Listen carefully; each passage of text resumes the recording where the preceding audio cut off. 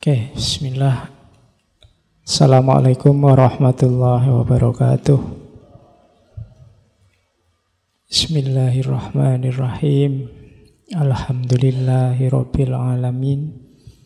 Wa bihi nasta'inu ala umurid dunya waddin.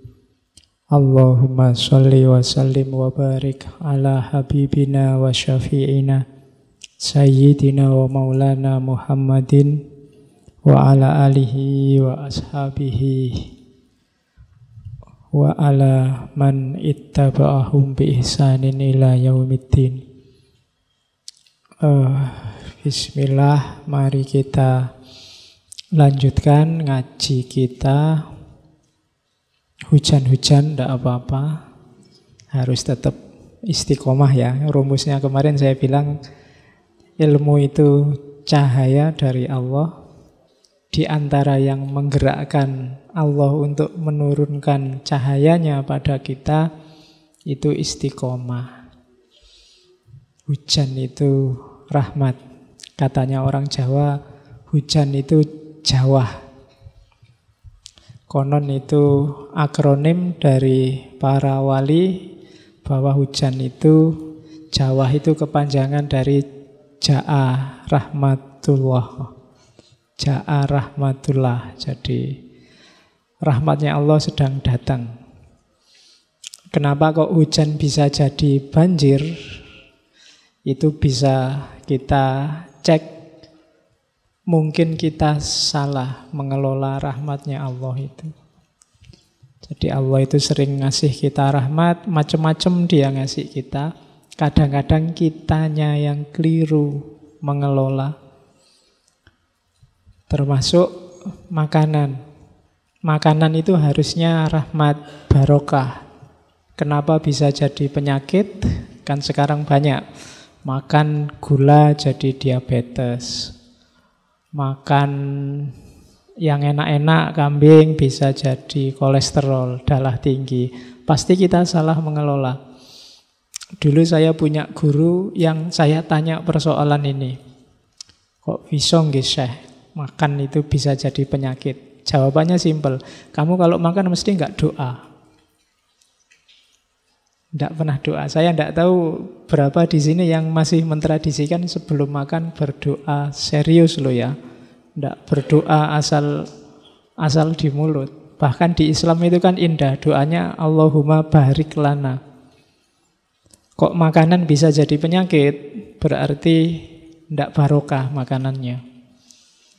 Nah, tidak barik lana berarti makanannya malah jadi Lu saya sudah doa ya Pak, sudah Allah mau barik lana, berarti doamu tidak mandi.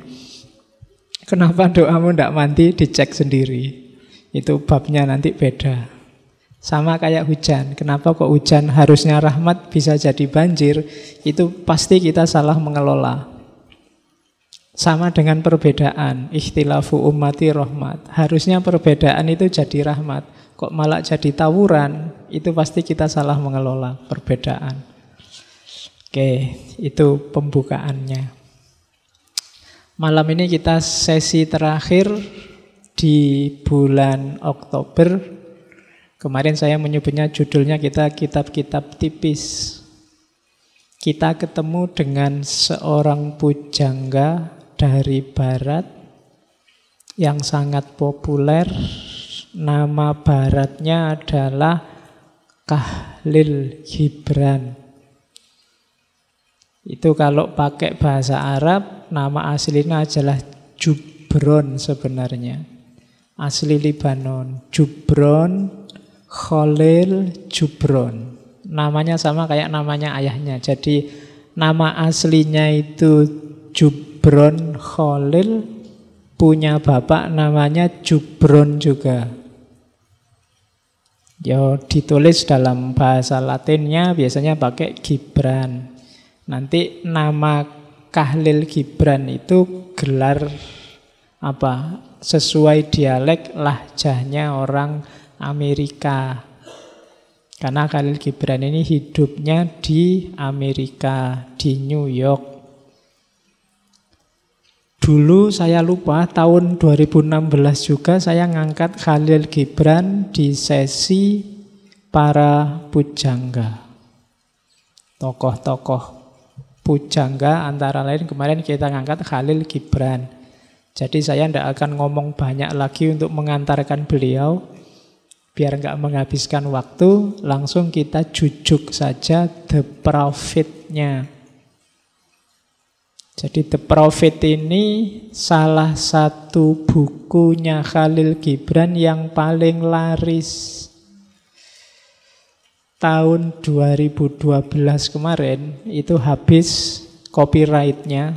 Jadi sekarang siapa saja boleh kalau mau menerjemahkan, mau menyebarluaskan. Itu sudah dicetak di penerbit aslinya saja sebelum diterjemah itu sekitar 2 juta 300 ribu eksemplar. Ya, ojo ke buku yang tak tumpuk di situ. Yang teman-teman naruh di situ ya buku filosof, buku thinking skill itu rongatus wae ra ke. Iki 2 juta loh. Itu di edisi penerbit resminya namanya Prometheus dan sudah diterjemahkan di 40 bahasa. Kalau ada yang mau menerjemahkan boleh. Yang belum bahasa Jawa, bahasa Sunda, bahasa tidak apa-apa toh. Isinya bagus. Meskipun ini bukan karya pertanyaannya Khalil Gibran, tapi ini karya yang paling terkenal dari Khalil Gibran. Sudah difilmkan. Ini logonya agak bagus. Saya sebenarnya motong logonya filmnya. Cuma filmnya animasi animasi serial. Nanti tiap bab diambil satu seri dengan direktur yang berbeda. Judulnya sama The Prophet. Produsernya adalah artis seksi namanya Salma Hayek. Ya, kalian mesti kenal lah yang bonsol seksi-seksi itu kan wawasanmu lebih luas daripada aku ya. Jadi kalau ada yang mau Kemarin 2014 keluarnya serial itu belum nyampe di Indonesia, bajakannya tak cari nggak ada-ada.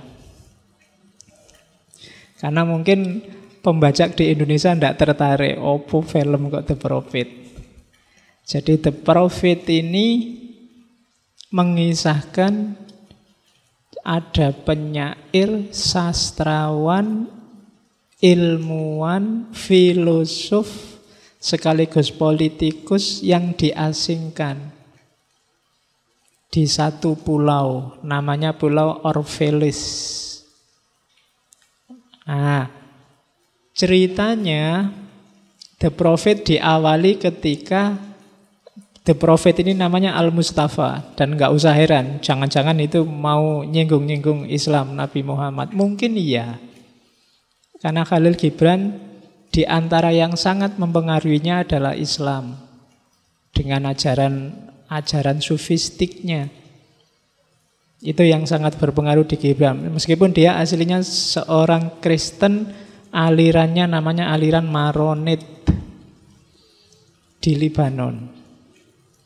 Dan nanti pada akhirnya sebenarnya dia appreciate pada semua agama, khususnya di level spiritualnya.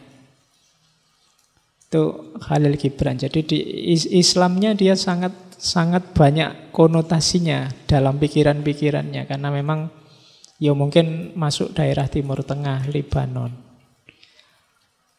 Ya seperti saya bilang dulu, bayangkanlah Khalil Gibran ini orang yang pendiam, introvert, terus apalagi ndak banyak ngomong, ya pendiam ya ndak banyak ngomong, masuk ngomong pendiam cerewet. Kan ada yang bilang gitu, saya itu aslinya pendiam loh Pak, tapi tapi ya cerewet podo wae. Nah, jadi dia ini pendiam, cerita hidupnya agak nggak enak memang, agak tragis. Jadi yatim piatu sejak kecil yang membiayai hidupnya kakaknya dari suami ibunya yang pertama. Suami ibunya ini anaknya pendeta, kalau bapaknya ini pekerja serabutan.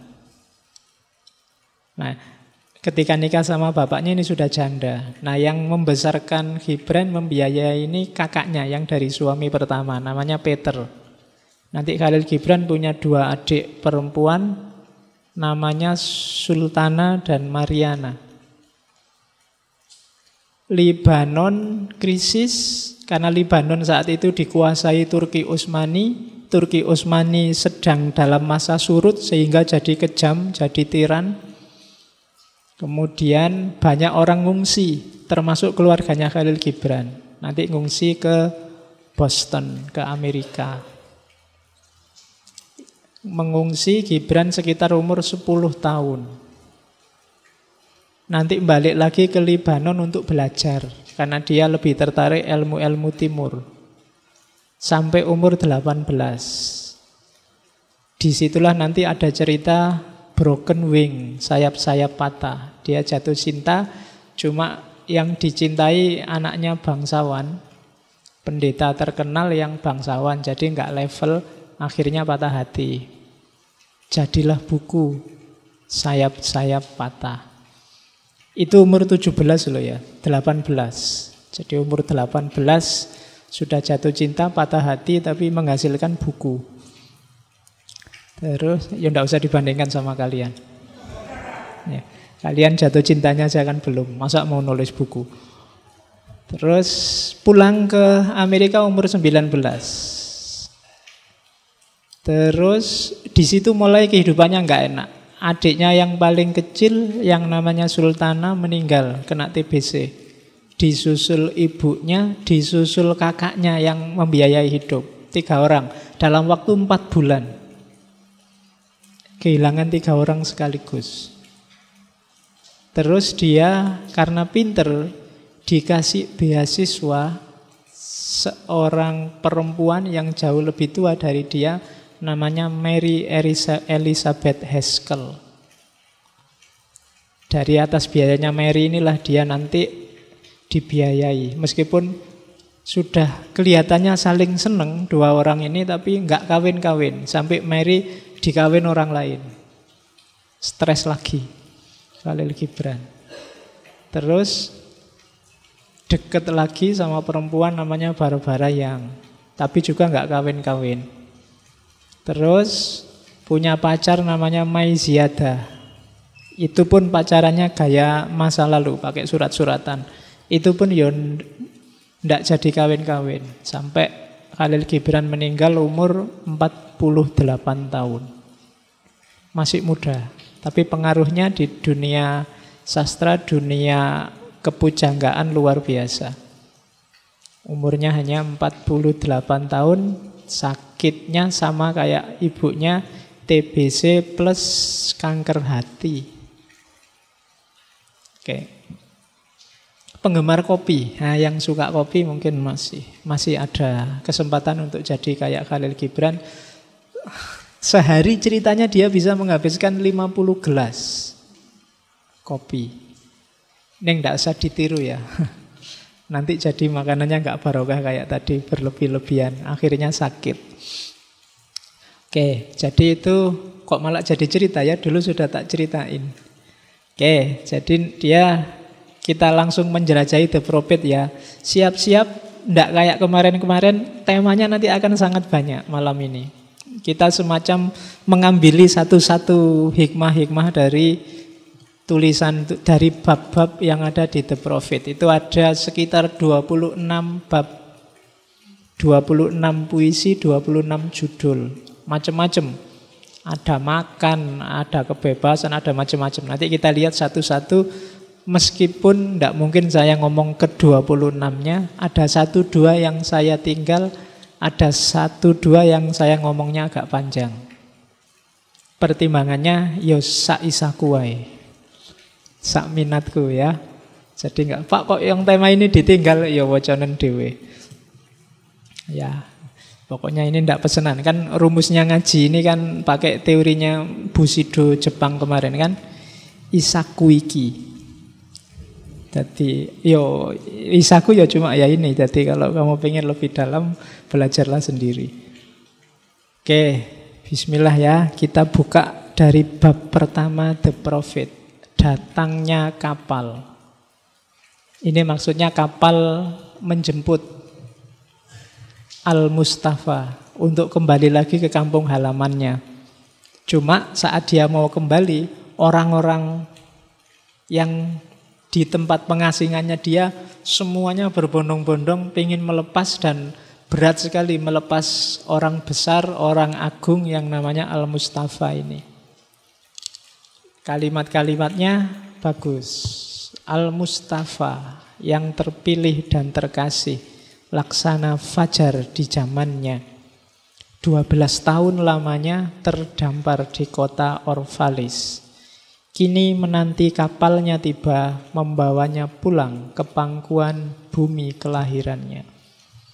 Titik-titik itu berarti ada yang saya loncati. Itu nanti orang-orang pada datang semua Tanya macam-macam Intinya berat sekali kalau mau ditinggalkan Al-Mustafa. Terus Al-Mustafa bilang, Aku si pencari kesunyian. Mustika apakah yang telah kutemukan di dalamnya yang patut kuwariskan? Apabila hari ini saatku mengetam, di ladang manakah dulu kusebarkan benih-benihku? Serta musim apakah yang terlupa? Jadi ini dia mau ngomong, selama ini aku itu diem, mencari kesunyian. Yang masyarakat juga diem aja, nggak mau tanya macam-macam, nggak mau belajar macam-macam. Lah kok sekarang aku mau pergi berbondong-bondong menahanku pergi. Kalau ini kebaikan, kapan aku menanam kebaikan itu? Itu maunya Al-Mustafa. Ini sebenarnya sindiran bagi kita dalam hidup kita. Itu sebenarnya sering sekali mungkin guru, mungkin buku, mungkin ajaran yang berseliweran lewat di depan kita dan kita cuekin. Banyak orang pinter, banyak orang luar biasa kita cuekin. Begitu mereka mau pergi, kita baru, ah kok sudah pergi ya. Ceritanya banyak. Sekarang yang sering ziarah ke Gus Dur, mewali-walikan Gus Dur, mungkin dulu waktu Gus Dur diturunkan dia yang paling getol mengkritik, mendemo. Begitu pergi sekarang, oh, kok sudah pergi ya? Banyak ulama, banyak orang pinter, banyak orang agung yang dalam hidup kita lewat begitu saja dan kita tidak mengambil manfaat apa-apa. Kita sering kaget. Iya ya, eman-eman, coba dulu, selalu begitu. Dan itu tabiat manusia. Jadi satu bait itu menurutku maknanya ke situ. Bait kedua dia ngomong, jika inilah waktunya ku angkat lentera, nyala di dalamnya bukanlah dariku. Kosong dan gelap ku acungkan, penjaga malamlah penyulut sumbu setelah minyaknya dipenuhkan pula. Nah ini kerendah hatian seorang guru. Orang yang levelnya nyampe ke kesadaran ketuhanan. Bahwa ya sudah kalau memang sekarang saatnya aku ngasih banyak petua, tak kasih petua. Cuma aku ini kayak orang yang ngasih lampu lampu ini dia menyala bikin kamu terang atau enggak, enggak tergantung aku. Tapi penjaga malam. Ya kalau di Islam, ya saya bilang tadi Allah yang ngasih cahaya. Dan Allah juga yang memenuhkan minyak, minyaknya. Jadi itu gambarannya Gibran dia mau ngomong, kalau memang ajaran-ajaran yang tak sampaikan ini bisa mencerahkanmu, itu bukan dari aku. Tapi dari yang menyalakan lampu dan bukan aku, aku cuma nadongke lampu gini dok.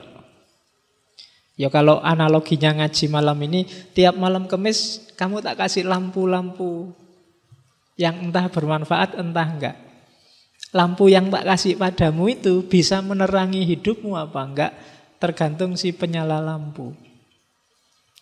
Tergantung Allah. Jadi di antara sekian mungkin sudah 100 berapa kita ngaji itu mungkin ada salah satu yang lampunya menyala. Bikin kamu naik level kesadarannya, bikin kamu tercerahkan. Nah, itu alhamdulillah. Kalau enggak ya ditunggu aja. Sopo ngerti lampu-lampu yang akan datang bisa bikin hidupmu cerah. Ya enggak cuma ngaji ini, semua ngaji, semua kajian. Mungkin justru bukan lampu ini tapi dari lampu-lampu yang dibawa ustadz-ustadz di TV itu. Mungkin lampunya Mama Dede, lampunya Ustadz Maulana, apa lampunya Sopono yang di TV-TV itu. Lu sopo ngerti? Oke, lu saya pagi-pagi mendengarkan Mama Dede dapat pencerahan luar biasa. Ada ibu-ibu yang tanya, Mama, Suamiku kawin lagi. Mama Dede jawabannya, ibu yang salah. Kenapa sampai bisa suaminya tertarik ke wanita yang lain? Tidak tertarik ke ibu saja. Oh, jawabannya ampuh itu. Ada orang curhat malah dimarahi. Ya, malah. Loh kan kamu tidak mikir kan biasanya kalau ada orang tanya suamiku nikah lagi kan yang dimarah-marahi yang nikah lagi. Ternyata bisa juga yang dijawab, yang dimarah-marahi, yang ngadu, suaminya nikah lagi. Mungkin memang ada loh dimensi itunya. Kenapa kok bisa sampai suaminya nggak betah di rumah? Mbok dibikin betah. Loh itu sudut pandang yang khas. Mungkin kamu nggak mikir ke situ. Tapi Mama Dede bisa mikir ke situ. Padahal dia perempuan. Nah, itu kan khas. Nah, yang paling benar yang mana ya tetap lihat situasi. Tapi kan ini namanya sudut pandang yang berbeda. Ya lumayan kan dari Mama Dede dapat lampu kecil wawasan yang baru. Oke, hari ini kan kita suka ingin ngeritik tuh, opo-opo dikritik, semuanya disalah-salahkan. Nah, ambil manfaat dari apa saja yang bisa kamu ambil. Oke, nah terus setelah Mustafa ngomong begitu, orang-orang kemudian bilang, Laksana ruh, engkau hidup di antara kami. Dan bayang-bayangmu menyebutkan cahaya di atas wajah kami. Kami telah menyayangimu, namun dengan kasih yang membisu. Serba terselubung oleh aneka macam kerudung.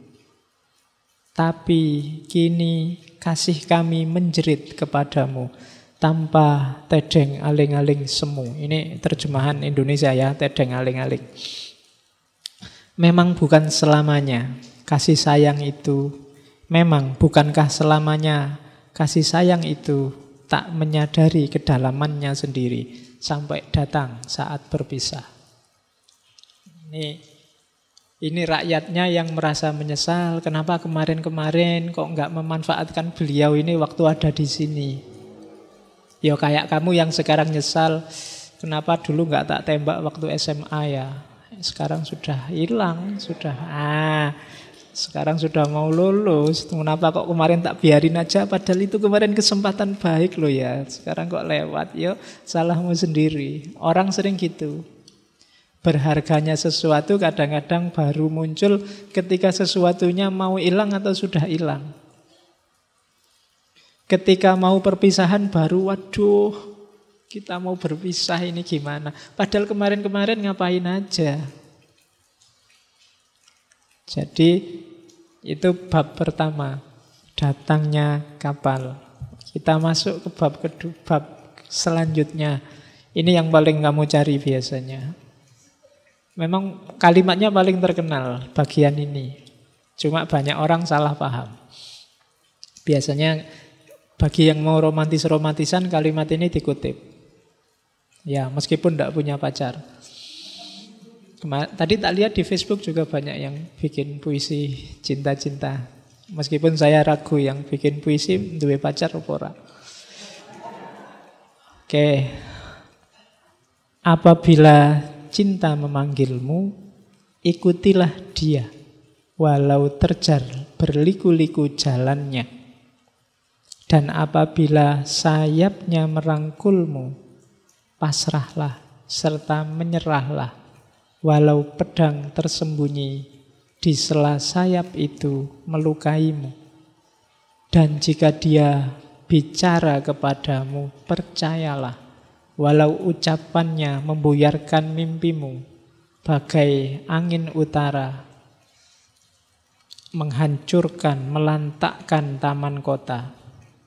Sebab sebagaimana cinta memahkotaimu, demikian pula dia menyalipmu demi pertumbuhanmu, begitu pula demi pemangkasanmu. Jadi catatan pertama dari bait ini yang pertama cinta itu datang tidak bisa dicari, tidak bisa dikejar. Kan ada istilah mencari cinta, mengejar cinta. Susah. Kenapa? Cinta itu sifatnya datang. Makanya orang selalu jatuh. Di Indonesia kan bahasanya jatuh cinta. Kalau dalam sufi cinta itu ahwal. Dia bukan makom. Tidak diusahakan tapi datang. Ya kalau di sufi ya itu anugerah dari Allah. Ahwal itu kan dikasih oleh Allah. Ya kalau yang di luar sufi itu sifatnya intuitif. Dia datang ke dalam dirimu. Tidak bisa diteorikan, nggak bisa diakal. Jadi kalau cinta sudah datang jangan dilawan. Biar aja. Nikmatilah, meskipun mungkin kadang sakit. Aku kok ya jatuh cinta sama pacari temenku toh yo. Ada yang kayak gitu ndak? Aku kok jatuh cinta sama yang itu ya, ndak level nanti. Aduh, piye yo. Atau aku ini ganteng ya, aku kok malah punya rasa terhadap ini ya, levelnya jauh ya. Loh, katanya Gibran, kalau cinta sudah datang jangan dilawan. Menyerahlah saja. Apabila cinta memanggilmu, ikuti saja. Kenapa? Untungnya nanti banyak. Cinta itu bisa memahkotaimu, bisa menyalipmu. Tapi apakah dia memahkotaimu atau menyalipmu, kamu akan tersucikan oleh cinta. Pelajaran luar biasa akan kalian dapat. Kalau hidup dalam cinta, bukan dalam nafsu loh ya, cinta. Cinta itu gini, uh, yang jatuh cinta mesti ngerti. Ketika kita jatuh cinta, kayak di lagu-lagu itu, hidup kita kayak hilang. Yang ada yang kita cintai. Mau makan yang diinget-inget yang dicintai. Mau tidur aja WA-an gak habis-habis. Udah tidur? Belum. I miss you. I miss you too. I miss you. I miss you too sampai jam 12 malam masih gitu terus. Jalan-jalan di mall, lihat baju-baju mungkin yang dilihat bukan aku pingin baju apa tapi kira-kira pacarku pantasnya baju yang kayak gimana ya. Ya kan? Kalau makan di warung, wah ini kalau tak beli ini nih seneng mesti pacarku. Senengannya memang makanan kayak gini. Selalu dia, tidak pernah aku. Makanya nanti Ghazali sangat merekomendasi hubungan kita sama Allah itu jangan hubungan kayak juragan sama buruh. Tapi hubungan cinta. Kalau kamu bisa jatuh cinta sama Allah luar biasa. Di situ iman jadi manis rasanya. Iman jadi nikmat. Jadi kalau cinta datang jangan dilawan. Mungkin kamu dulu kuliah punya prinsip pokoknya saya tidak akan pacaran. Pacaran ganggu kuliah. Tapi kalau kamu jatuh cinta dan kamu lawan akan lebih ganggu kuliah. Kalau nggak percaya cobaan. Oke, ya pura-pura lah jatuh cinta sama siapa gitu nanti. Ya, jadi ikuti saja. Yuk, cinta itu kan tidak harus bedakan antara rasa cinta dengan ekspresi cinta. Kalau ekspresi cinta pagernya banyak, aturan-aturannya banyak, tapi rasa cinta monggo saja. Oke, kalau kamu bilang Pak, saya jatuh cinta, saya cowok Pak, saya kok cinta sama cowok. Udah kan sekarang gitu. Enggak apa-apa sih, ya cinta aja. Tapi mengekspresikannya ada aturannya. Kalau cowok sama cowok tidak boleh. Ya berhentilah dicinta saja. Oke, kalau kamu sayang sama yang kamu cintai, jangan sampai ke sana. Karena menghancur kamu dan menghancurkan dia. Dan cinta tidak menghancurkan. Rumusnya begitu. Semoga di sini nggak ada.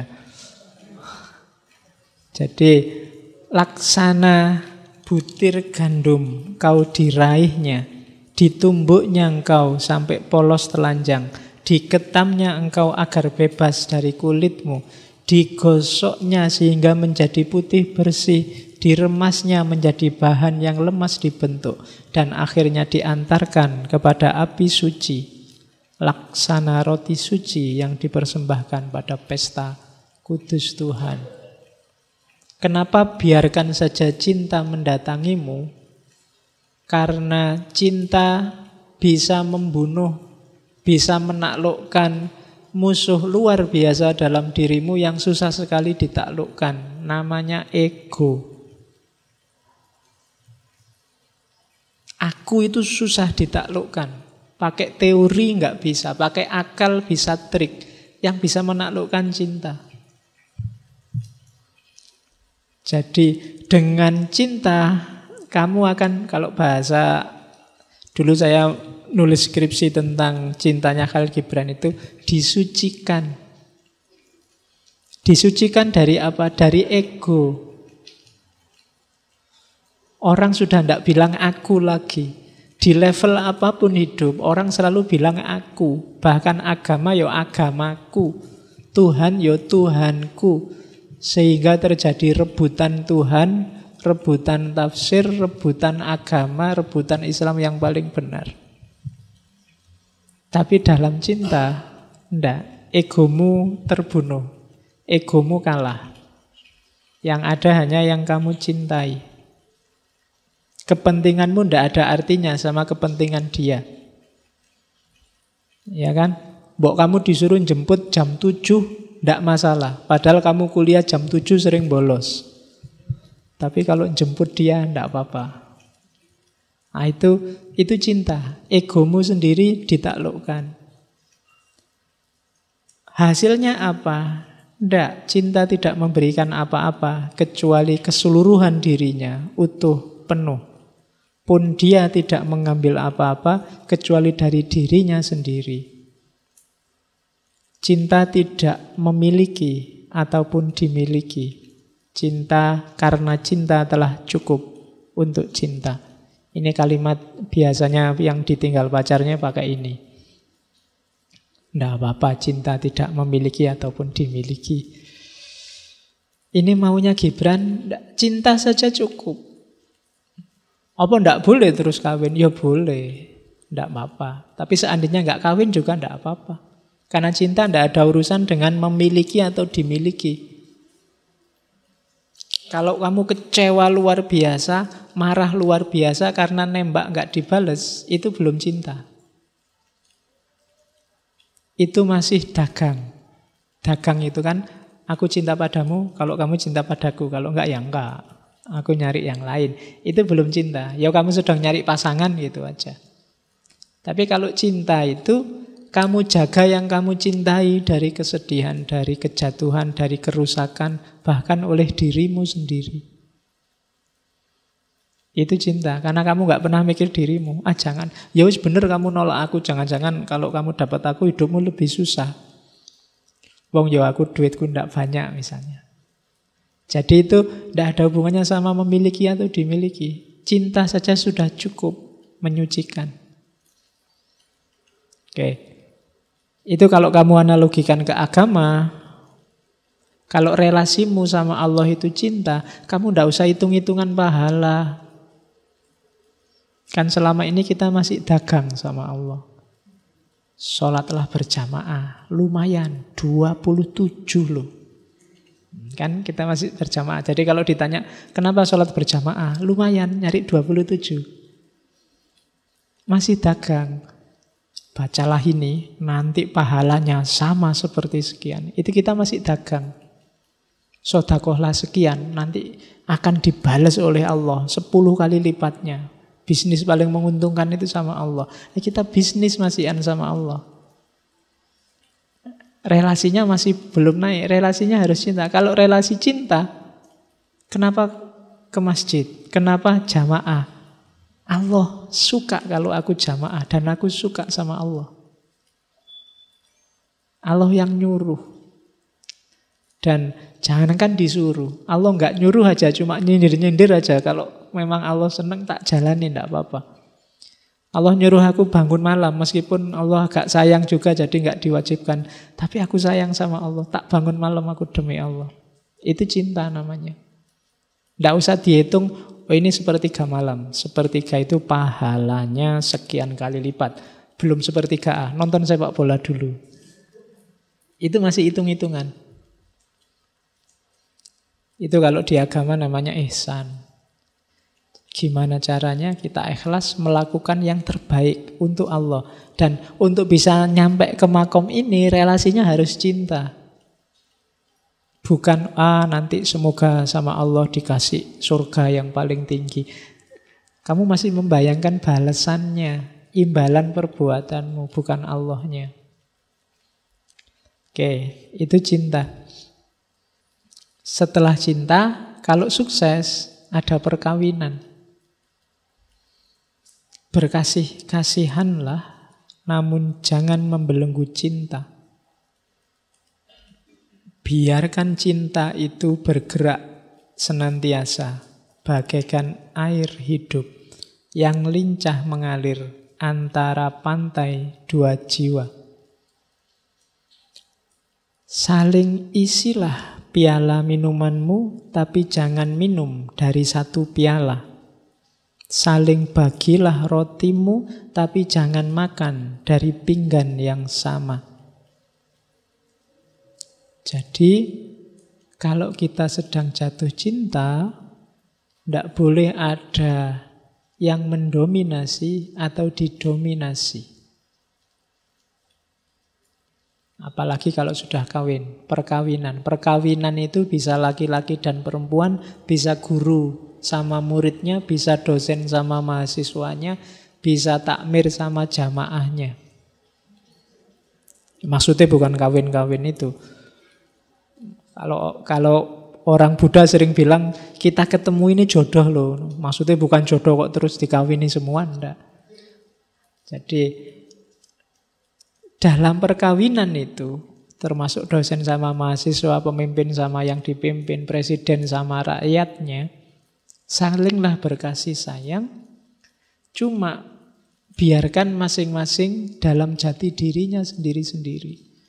Jangan mendominasi, jangan mensubordinasi, jangan menjajah, jangan mengubah-ubah, memaksa-maksa.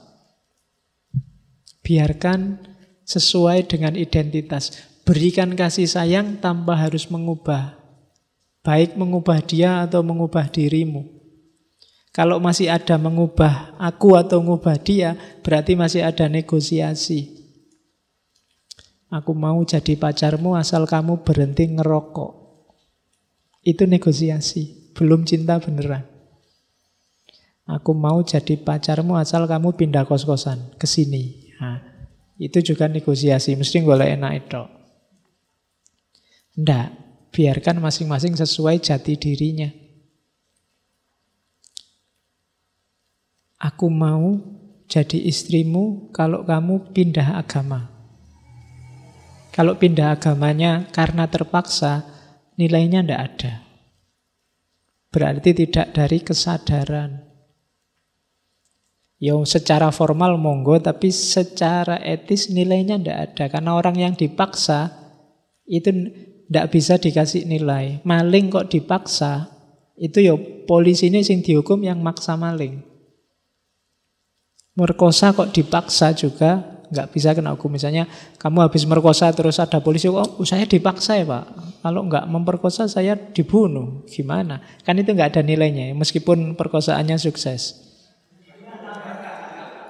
Ya udah kalau iya kan segala yang dipaksa itu tidak ada nilainya, termasuk agama. Kamu tidak harus senang-senang, wah gara-gara saya dia masuk Islam. Tapi kalau masuk Islamnya negosiasi, biar hanya untuk bisa kawin, ini tidak ada nilainya. Oke. Bahkan bukan cinta. Wah, demi cintanya padaku dia mau ganti agama. Ndak, itu negosiasi. Belum cinta. Jadi saling beri minuman tapi jangan minum dari cawan yang sama. Terus bernyanyi dan menarilah bersama dalam segala suka dan cita. Hanya biarkanlah masing-masing menghayati ketunggalannya. Tali rebana masing-masing punya hidup sendiri, walau lagu yang sama sedang menggetarkannya.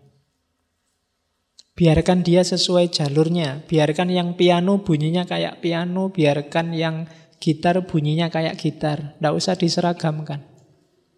Dari situ muncul keindahan, kita muslim sesama saudara. Cuma yang NU saja, yang Muhammadiyah enggak. Enggak indah itu. Indah itu yang berbeda biarkan beda. Tapi bisa kompak. Lagu yang indah itu alat musiknya macam-macam menghasilkan lagu yang enak. Kalau alat musiknya cuma satu, gong saja misalnya, semuanya harus gong, tidak enak. Paling suaranya dong, dong, dong gitu, tidak enak. Gitar saja juga tidak enak. Lebih enak ada gitarnya, ada biolonya, ada pianonya, ada gongnya, ada main bareng, kompak, cocok iramanya, indah. Kalau cuma satu nada, ndak indah. Itu rahasia dari ikhtilafu umati rohmah. Macam-macam itu indah, membawa rahmat, menghasilkan kasih sayang. Kasih sayang itu kan aku di sini, kamu di situ, terus kita saling membagi kasih sayang. Kalau cuma satu ya ndak ada di situ, ndak ada di sini. Oke, terus berikan hatimu, namun jangan saling menguasakannya, sebab hanya tangan kehidupan yang akan mampu mencakupnya. Ini yang saya bilang, kita harus mencintai tapi tidak saling mengubah, tidak saling mendominasi. Tegaklah berjajar, namun jangan terlampau dekat. Bukankah tiang-tiang candi tidak dibangun terlalu rapat dan pohon jati serta pohon cemara tidak tumbuh dalam bayangan masing-masing? Jadi perbedaan adalah kekuatan, perbedaan adalah keindahan. Kalau tiang-tiangnya masjid ini cuma satu ngumpul di tengah, masjid ini ambruk sejak lama. Kenapa masjid ini kuat? Tidak ambruk karena tiangnya berjarak beda-beda, tidak satu. Jadi jangan disesali kita ada aliran macam-macam itu kekuatan kalau pengelolaannya benar. Kalau tiang ini marah yang sebelah selatan sama tiang yang di utara, eh ngumpul di selatan semua, Islam itu yang selatan, masjid ini rambruk. Dia jadi kuat ketika tiang-tiang itu sesuai jati dirinya masing-masing. Kalau orang Islam itu filosof semua, bubar juga Islam. Orang Islam fikih, fukoha semua juga tawuran, isinya rebutan dalil. Orang Islam sufi semua juga rusak, nggak ada yang mau kerja jadi presiden, jadi panglima perang. Jadi macam-macam itu kekuatan. Kamu tidak usah meratapi macam-macam itu. Yang harus kita atur adalah manajemen kebersamaan kita seperti apa. Oke, rahasianya di situ. Terus, bab selanjutnya. Ini harus siap ya, ini agak loncat-loncat karena memang temanya loncat-loncat sesuai jamaah yang tanya pada Al-Mustafa. Ini juga saya potong-potong, kalau tak tulis semua nanti jadi terjemahan. Oke, di awal mesti ada siapa yang tanya. Ini juga sangat terkenal tentang anak. Anakmu bukanlah milikmu. Mereka putra-putri sang hidup yang rindu pada diri sendiri. Lewat engkau, mereka lahir namun tidak dari engkau. Mereka ada padamu, tapi bukan hakmu. Catatan pertama, anak-anak kita, tanda petik ya, anak itu bisa anak lahiriah, yuk anak beneran. Boleh kamu tafsirkan murid. boleh kamu tafsirkan orang yang ada di bawahmu yang harus kamu bimbing. Jadi awalnya memang anak-anak lahiria, yaitu memang dari kita sih, kita yang melahirkan, kita yang bikin mereka hadir di dunia. Tapi bukan kita yang menentukan kehadirannya. Mereka cuma lewat kita. Maka bahasa Indonesia yang ada istilah bikin anak itu menyesatkan. Tidak bisa orang bikin anak. Siapa berani menjamin kamu misalnya besok punya punya istri, punya suami, berhubungan terus, ayo kita bikin anak. Tidak bisa. Yang bisa menentukan kamu hamil apa enggak kan bukan dirimu. Kamu isoe kan cuma main gitu aja. Hasilnya kan tidak tergantung dirimu. Secanggih-canggihnya sain, tidak bisa bikin anak. Oh sekarang kan bisa Pak, bayi tabung, bisa inseminasi buatan. Itu toh tidak 100%. Bayi tabung ya iso gagal, inseminasi buatan bisa gagal. Kita tidak bisa bikin anak. Bayi tabung itu kan cuma meng mengkat prosesnya, mempertemukan telur sama sperma di luar itu. Jadi olahraganya tidak ada tapi langsung jadi. Prosesnya kan sama. Itu kan juga tidak jaminan juga. Seandainya jadi, berarti kan bukan kita penentunya. Kita cuma kelewatan. Kita cuma dititipi. Biar anak ini hadir. Maka dia bukan milik kita, bukan hak kita. Itu rumus pertama. Jadi, terus kalau bukan hak kita kenapa? Berikan mereka kasih sayangmu, tapi jangan paksakan bentuk pikiranmu. Sebab pada mereka ada alam pikiran tersendiri. Patut kau berikan rumah untuk raganya, tapi tidak untuk jiwanya. Sebab jiwa mereka adalah penghuni rumah masa depan yang tiada dapat kau kunjungi sekalipun dalam impian. Jadi besok kali kalau kalian punya anak ajarilah cara berpikir. Ajarilah cara mengambil keputusan. Beri wawasan sebanyak-banyaknya, tapi jangan ngatur mereka mau jadi apa. Biarkan mereka sendiri yang milih. Mereka punya hak untuk hidupnya sendiri. Itu maunya Gibran. Sekarang kan banyak anak yang sejak kecil sudah pontang-panting les ini, les itu, les piano, les olahraga, les biola, bahkan disuruh ngafalin Quran. Bukan salah, cuma kalau ini lahir dari paksaan akan mencederai jiwanya. Biarkan mereka sendiri milih. Kita tawarkan wawasan-wawasan yang mungkin mereka butuh. Kita kasih mereka alat untuk hidup mereka di masa depan. Tapi jangan paksakan bentuk kehidupan di mimpi kita pada mereka. Jadi tidak ada cita-cita warisan. Kan ada bapakmu dulu mau jadi dosen tidak bisa-bisa. Kamu ya yang jadi dosen. Itu namanya cita-cita warisan. Ndak, ya lo kalau kalau kamunya sendiri pas mau jadi dosen ya ndak apa-apa, tapi kalau ndak kan masalah nanti, ndak akan maksimal. Kalau karirmu tidak sesuai pilihanmu, sama kayak kuliahmu sebenarnya kamu nggak mood, bukan jurusanmu, bukan yang kamu inginkan, jangan berharap kamu excellent di situ. Pilih sendiri hidupmu. Nah, ini nggak nyuruh pindah fakultas ya, itu Cuma ya kamu sendiri yang ngukur hidupmu. Ya bisa mungkin kamu bisa jadi orang kaya, tapi kalau bukan jiwamu, kamu tidak akan sukses, tidak akan jadi sesuatu. Jadi jiwa mereka adalah penghuni rumah masa depan. Kalau rumah masa depan kita kan sudah jelas. Oke, terus Kau boleh menyerupai mereka, namun jangan membuat mereka menyerupaimu. Ini agak dalam tafsirnya. Kenapa kita boleh menyerupai mereka? Karena mereka yang hidup di masa kini dan masa depan. Kita ini orang masa lalu.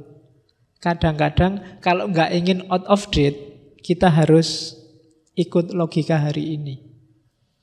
Logika anak-anak muda hari ini. Maka boleh kamu menyerupai mereka untuk paham dunia hari ini. Tapi jangan maksa mereka untuk menyerupaimu. Karena kamu hidup di masa lalu. Di masa lalu belum ada laptop, belum ada HP, belum ada Samsung, iPhone.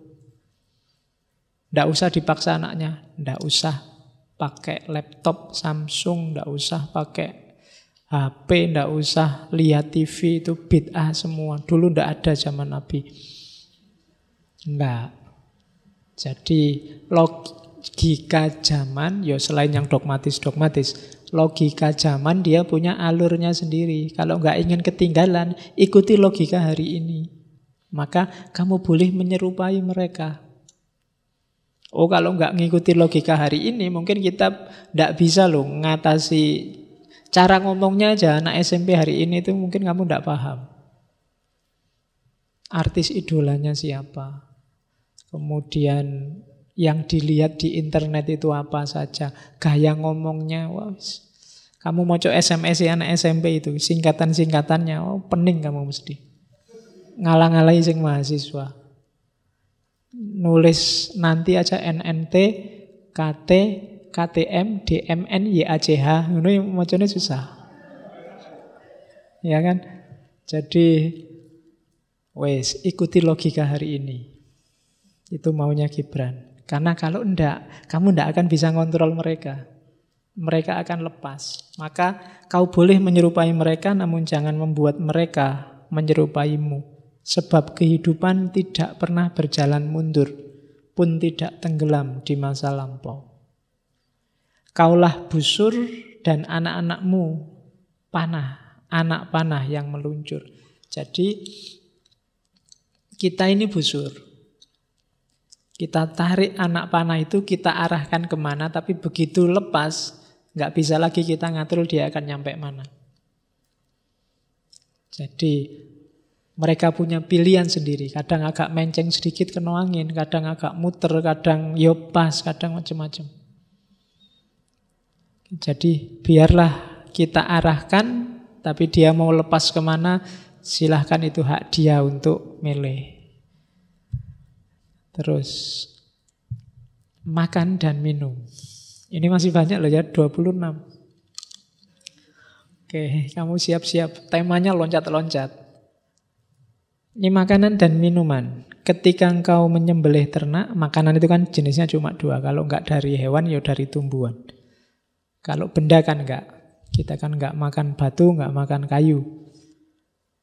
Ketika engkau menyembelih ternak, kalau kalau binatang mesti disembelih.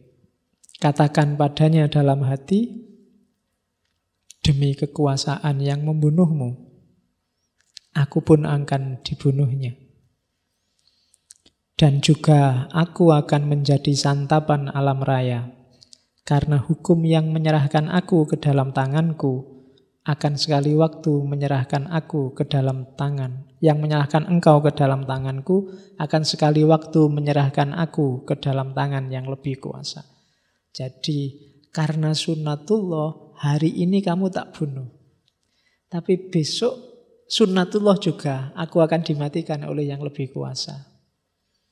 Jadi ini menghargai makhluk hidup, Jangan mentang-mentang kamu boleh menyembelih terus mbok sembelih sak kapoke. Pisaunya enggak tajam juga diesek-esek-esek. Enggak gitu. Hargai juga. Makanya kalimatnya kan bagus. Kalau di kita disuruh bismillah.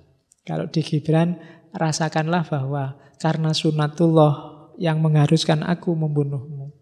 Dan gak usah khawatir, besok pada saatnya juga aku akan dimatikan oleh yang punya kuasa atas diriku. Karena memang kan kalau di Quran ada ayat wasakhoro lakumul bahro dan alam semesta itu ditundukkan oleh Allah untuk manusia. Sebenarnya Allah yang kuasa, cuma demi manusia yang mau dikasih tanggung jawab, alam ini ditundukkan untuk kita sehingga kita punya hak untuk menyembelih kambing, menyembelih kerbau. Dan nggak usah loh, karena kemarin waktu korban ada tuh yang pengkritik-pengkritik yang agak lebay. Wah, umat Islam itu pembantai. Apa salahnya kambing, apa salahnya kebu, kok dihabisi semua, apa salahnya sapi-sapi itu. Tidak. Jadi tidak ada salahnya memang. Cuma sunatullahnya memang kerbau dan kambing itu disembelih untuk kita makan. Disiapkan Allah untuk kepentingan kita. Wong kambing sama sapinya nggak protes kok. Iya, tidak apa-apa. Yang tidak boleh kan nyembelih temanmu sendiri. Kalau nyembelih sapi, nyembelih kambing, memang sunatullahnya begitu. Tidak harus sedih, tidak masalah. Bahwa ada yang vegetarian, ya monggo itu urusanmu. Tapi jangan marah-marahi yang tidak vegetarian. Kalau kamu marah-marah kepada yang tidak vegetarian, vegetarianmu nggak sukses. Karena marah itu daya hewani. Hewan dalam dirimu belum wafat berarti. Meskipun kamu makannya rumput. Sama tumbuh-tumbuhan. Oke, itu kalau mau menyembelih kambing, darahmu dan darahku tak lain dari air sari yang menyiram dan menghidupi pohon surgawi. Di saat engkau mengunyah buah dengan gigi, katakan padanya dalam hati, benihmu akan hidup terus dalam tubuhku dan kuncup hari esokmu tetap mekar di kalbuku. Keharumanmu selalu bernafas lewat nafasku dan bersama-sama kita menari bersukaria menyongsong kelahiran semua musim. Kalau tumbuhan, bilang pada buah, kalau kamu makan apel, makan pisang ini, benihmu, dayamu akan tetap hidup dalam diriku.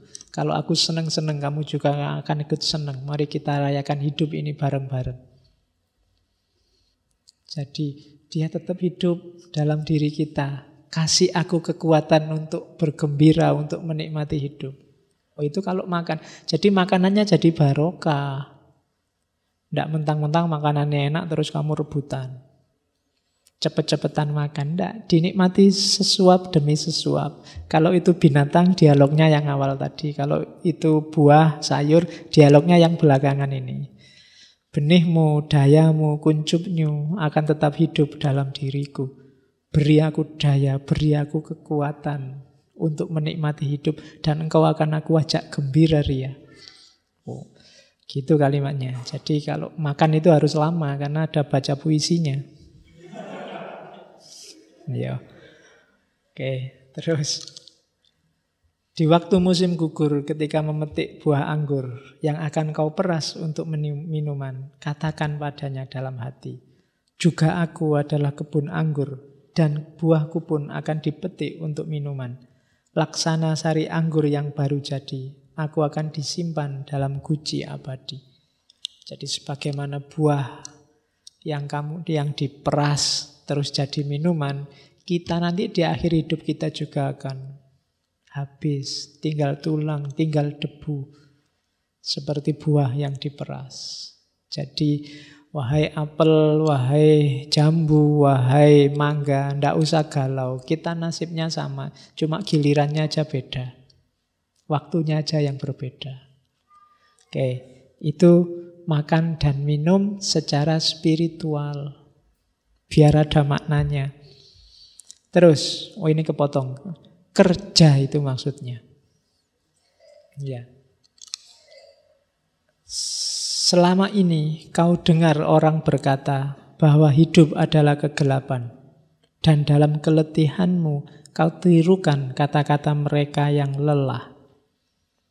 Namun aku berkata bahwa hidup memang kegelapan, kecuali jika ada dorongan. Dan semua dorongan buta belaka, kecuali jika ada pengetahuan.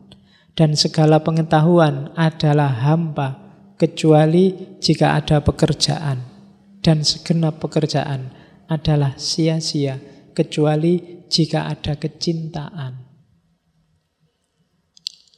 Jadi ini maunya Gibran dia nyindir kita. Banyak sekali di sekeliling kita ini orang lelah. Pekerjaannya tiap hari mengeluh dan tidak ngapa-ngapain. Sambat terus. Tidak pernah berusaha, tidak pernah bekerja. Katanya Gibran, ya mungkin keluhan mereka itu benar. Hidup ini memang penuh masalah, memang gelap. Tapi kan kita nggak boleh diam saja. Kita harus bergerak, harus ada yang mendorong kita untuk bergerak. Untuk kita bisa bergerak, kita butuh pengetahuan. Meskipun nanti pengetahuan itu juga tidak ada gunanya kalau tidak kita jalankan. Kecuali jika ada pekerjaan. Pahami kemudian jalankan. Cuma pekerjaan itu juga tidak akan ada nilainya kalau dasarnya bukan cinta. Lawannya cinta itu pamrih. Kalau kamu kerja, cintailah pekerjaanmu. Apa pun yang kamu lakukan. Kayak gimana sih mencintai pekerjaan itu? Dan apakah yang dinamakan bekerja dengan rasa cinta?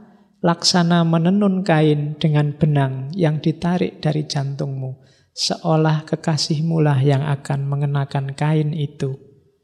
Bagai membangun rumah dengan penuh kesayangan, seolah-olah kekasihmu lah yang akan mendiaminya di masa depan. Seperti menyebar benih dengan kemesraan, dan memungut panen dengan kegirangan, seolah-olah kekasihmu lah yang akan makan buahnya kemudian. Itu namanya bekerja dengan penuh cinta. Jadi melakukan apa pun, bayangkan ini bermanfaat bagi orang yang kamu cintai. Kalau aku cinta padamu dan kamu cinta padaku, Hujan-hujan, capek-capek kan juga tidak masalah. Karena kamu membayangkan, wah kasihan ya Pak Faiz nanti kalau nggak ada yang datang hujan-hujan nih. Aku juga bayang ke, nih aku nggak datang kalian sudah di sini gimana? Itu namanya cinta. Nggak mikir dirinya sendiri. Padahal kan sing enak hutan-hutan itu kita di kamar ono selimut lungker. Apalagi capek-capek. Tapi kan enggak, ah enggak usah mikir aku, ah kasihan yang lain. Itu namanya cinta. Bekerja apa pun modusnya semacam ini. Ada nilainya. Tapi kalau kamu ke sini ah tak neng masjid ah duit entek lumayan oleh kopi gratis. Ah itu pamrih, bukan cinta. Jadi siapa pun kalau kamu menyebar benih, bayangkan yang akan panen adalah kekasihmu. Kalau kamu jahit baju, bayangkan yang make adalah kekasihmu. Kalau kamu ngajar, bayangkan yang kamu ajar adalah kekasihmu. Itu gambaran paling gampang untuk bekerja dengan cinta. Terus, suka dan duka. Apabila engkau sedang gembira, mengacalah dalam-dalam kelubuk hati. Di sanalah nanti engkau dapati bahwa hanya yang pernah membuat derita berkemampuan memberimu bahagia. Kalau kita sekarang gembira, mungkin sukses, mungkin berhasil, mungkin memperoleh sesuatu, ingat-ingatlah bahwa sebelum kamu peroleh itu, kamu mengalami derita. Mungkin sekarang kamu gembira, lulus kumlot, tapi sebelumnya kan kamu mengalami derita luar biasa untuk belajar, untuk ke perpustakaan, untuk ingat-ingat. Mungkin kamu sekarang gembira luar biasa, pacarmu cakep sekali, kamu dulu kan mengalami derita ketika kamu naksir, ngelirik, nembak, mati-matian lah pokoknya. Ada ada susahnya. Tidak ada gembira yang tanpa susah. Tidak ada bahagia yang tidak diawali dengan susah. Makanya orang Jawa punya rumus tirakat. Agama punya rumus puasa. Kenapa? Susah dulu. Nanti di balik itu ada kegembiraan. Tapi kalau kamu senang-senang dulu, setelah itu ada kesedihan. Apabila engkau berduka cita, mengacalah lagi ke lubuk hati. Di sanalah pula engkau bakal menemui bahwa sesungguhnya engkau sedang menangisi sesuatu yang pernah engkau syukuri. Kalau kamu diputus pacarmu dan sekarang nangis, Dulu waktu kamu jadian, kamu bersyukur sekali dapat pacar. Kalau sekarang kamu sedih karena nggak lulus kuliah, karena sebelumnya kamu sudah seneng-seneng, yang lain belajar kamu bolos kuliah. Rumusnya pasti begitu. Kalau sekarang kamu susah, sebelumnya kamu sudah seneng memang. Kalau sekarang kamu seneng, sebelumnya kamu sudah mengalami susah. Ada yang bilang sukacita itu lebih besar dari duka cita. Yang lain berpandangan tidak, dukalah yang lebih besar dari suka. Tapi aku berkata padamu, keduanya tidak terpisahkan. Bersama-sama keduanya datang. Dan bila yang satu sendirian bertamu di meja makanmu, ingatlah selalu bahwa yang lain sedang ternyenyak di pembaringanmu. Jadi suka dan duka itu silih berganti dan dua sisi dari mata uang yang sama. Kedua-duanya tidak terpisahkan. Maka jangan galau, jangan berlebihan, jangan mudah terpengaruh oleh rasa suka dan rasa duka. Biasa saja. Kalau sedang seneng nggak usah terlalu wow. Kalau sedang sedih juga nggak usah terlalu galau. Ingat-ingatlah kalau kamu sedang seneng, ada sedih juga. Ingat-ingatlah kalau kamu sedang sedih, ada seneng juga. Itu sudah rumusnya hidup. Kalau yang satu sedang bertamu di meja makanmu, yang lain sedang tertidur. Pada saatnya dia akan bangun dan datang. Oke.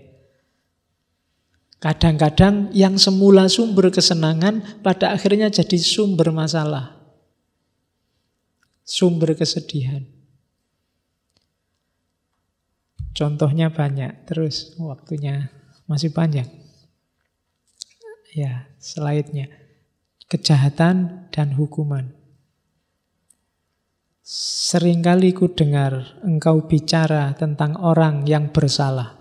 Seolah-olah dia bukan seorang kerabat, tapi asing bagimu. Seorang yang hadir di duniamu bagai duri pengganggu. Ini katanya Gibran Orang yang kita anggap jahat, orang yang kita anggap musuh itu kan sering kita anggap seolah-olah mereka itu bukan manusia kayak kita.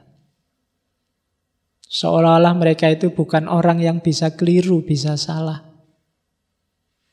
Kita anggap mereka sudah setan, kita anggap mereka sudah bukan manusia. Contohnya oke. Minta maaf aja nggak diterima, kudu salah. Nah, ada kan yang kayak gitu? Jadi katanya Gibran, sering loh saya dengar kayak gitu. Lah terus gimana? Katanya Gibran, sehelai daun pun tak dapat menguning tanpa sepengetahuan seluruh pohon, walau diam-diam.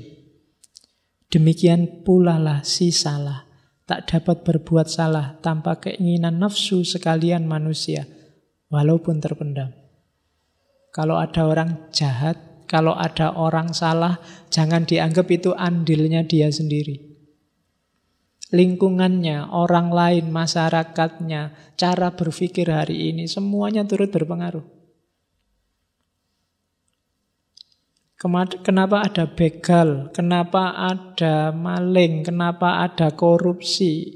Itu tidak cuma andilnya si korupsi, si begal. Gaya hidup hari ini kita semua, cara berpikir hari ini kita semua turut mempengaruhi. Kenapa orang mau korupsi? Ya karena mungkin hari ini kita semua tiap hari mikirnya hedonistik. Orang yang kaya kita hargai, orang yang uangnya banyak, yang mau ngasih sumbangan pada kita misalnya, kita puja-puja. Itu sama dengan logik semacam ini memungkinkan mereka untuk Ah, kalau gitu segala cara biar aku jadi kaya dan dipuji orang lain. Kita ikut andil. Kita mendewakan kekayaan, maka banyak orang nyari jalan gimana caranya dia cepat kaya.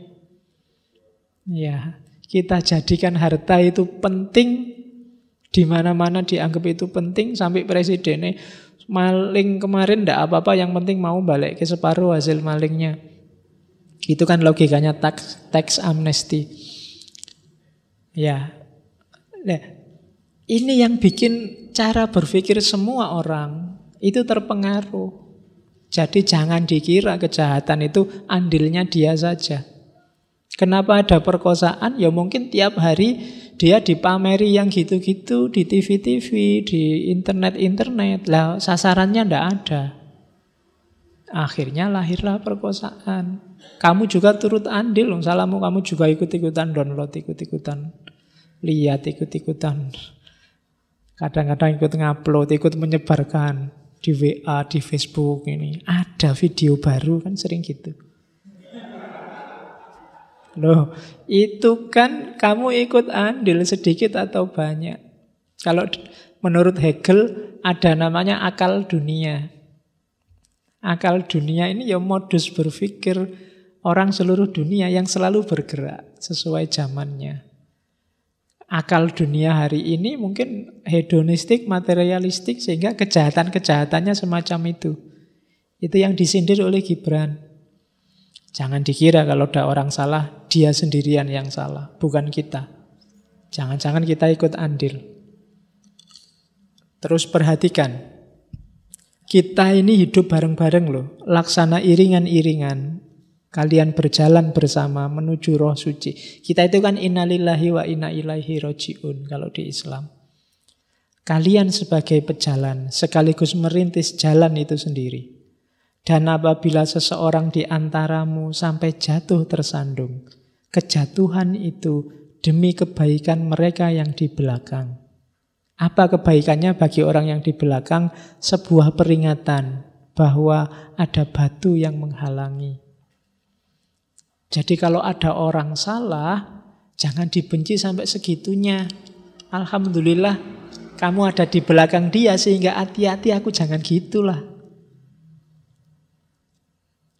Oh, Ahok ngomong Al-Maidah itu aku jauh usah ngomong itu lagi nanti dimarahi orang banyak. Itu kan hati-hati. Ada pelajaran luar biasa dari orang yang salah. Bagi yang di belakang, ya, bahkan dia pun telah tersungkur demi kebaikan yang berjalan di depan. Apa pelajaran bagi yang di depan? Karena meskipun mereka lebih tegap dan lebih mantap, namun telah alpa menyingkirkan batu perintang jalan. Orang yang di depan juga harus introspeksi. Harusnya dia di depan kan bisa menyingkirkan yang bisa nyandung-nyandung itu. Kok sampai ada orang kesandung, nah dia juga harus introspeksi, jangan kesusu nyalahkan. Harusnya ya ngasih tahu dulu rambu-rambunya. Hati-hati ya, jangan ngomong yang kayak gini-gini karena ini sensitif bagi umat Islam. Ini urusannya kan gitu. Yang di depan nggak ngomong-ngomong duluan. Itu koyo polisi ndelek nunggu kamu salah. Begitu kamu salah, prit lumayan. Nah, kita yang di depan itu berarti apa? Yang lebih ngerti, yang lebih paham, yang posisinya diikuti orang. Kalau ada orang salah, ya harus mau introspeksi. Jangan-jangan dia juga salah. Kok nggak ngasih petunjuk sejak awal sampai ada orang keliru. Jangan kesusu ngasih hukuman. Itu maunya Gibran. Coba deh semuanya introspeksi. Bagi yang di belakang, perhatikan, jadikan itu pelajaran. Jangan ngambil kesalahan yang sama. Bagi yang di depan, introspeksilah. Selama ini sudah melakukan apa kok sampai ada orang salah dan dia tidak sadar kalau dia salah. Terus, undang-undang sekarang. Kita hidup ini kan penuh dengan undang-undang. Undang-undang maksudnya aturan ya, bukan undang-undang mau manten. Sekarang kan banyak undangan itu. Manten kok ndak undang-undang loh. Yang punya undang-undang lah negara. Terus kalian ini ada yang tak biasanya kalimat awalnya itu ada orang datang dia hakim terus tanya wahai al mustafa Gimana menurutmu undang-undang, aturan-aturan yang dibuat manusia? Kalian senang meletakkan perundang-undangan, namun lebih senang lagi melakukan pelanggaran. Bagaikan kanak-kanak yang asyik bermain di tepi pantai, yang penuh kesungguhan, menyusun pasir menjadi menara. kemudian menghancurkannya sendiri sambil gelak tertawa ria. Jadi ini sindirannya Al-Mustafa. Kita itu senang sekali bikin undang-undang dalam rangka apa? Untuk dilanggar. Kalau ada yang melanggar terus kita senang. Wah lumayan ada yang melanggar ini. Hakimnya dapat job, pengacaranya dapat job, TV-nya dapat job. Akhirnya kita empat bulan lebih nonton sidang. Ya kan? Kita kayak anak kecil. Undang-undang diproduksi terus. Tapi tidak meningkatkan harkat martabat hidup kita. Kita kayak anak kecil yang bikin pasir di tepi pantai. Kalau pasirnya runtuh kita seneng, ah melanggar. Kita bikin perda-perda. Tujuannya apa? Untuk nyari orang yang melanggar, kan itu. Aturan itu kan dibikin, kalau sudah ada, dibikin aparatnya, setelah itu apa? Kita cari yang melanggar, kan begitu. Masa ada kita cari yang tidak melanggar, kan enggak? Yang dicari yang melanggar. Jadi kayak orang main-main tadi. Begitu ada yang melanggar, semua, ah ini dia malingnya, kan mesti begitu. Terus, ada yang lebih serem lagi. Ada lagi dia yang paling pagi mendatangi pesta. Suatu peralatan perkawinan. Kemudian setelah terlalu kenyang perutnya. Dengan badan letih kecapean. Meninggalkan keramaian dengan umpatan. Menyatakan segala pesta sebagai pelanggaran. Dan semua peserta melanggar hukum belaka.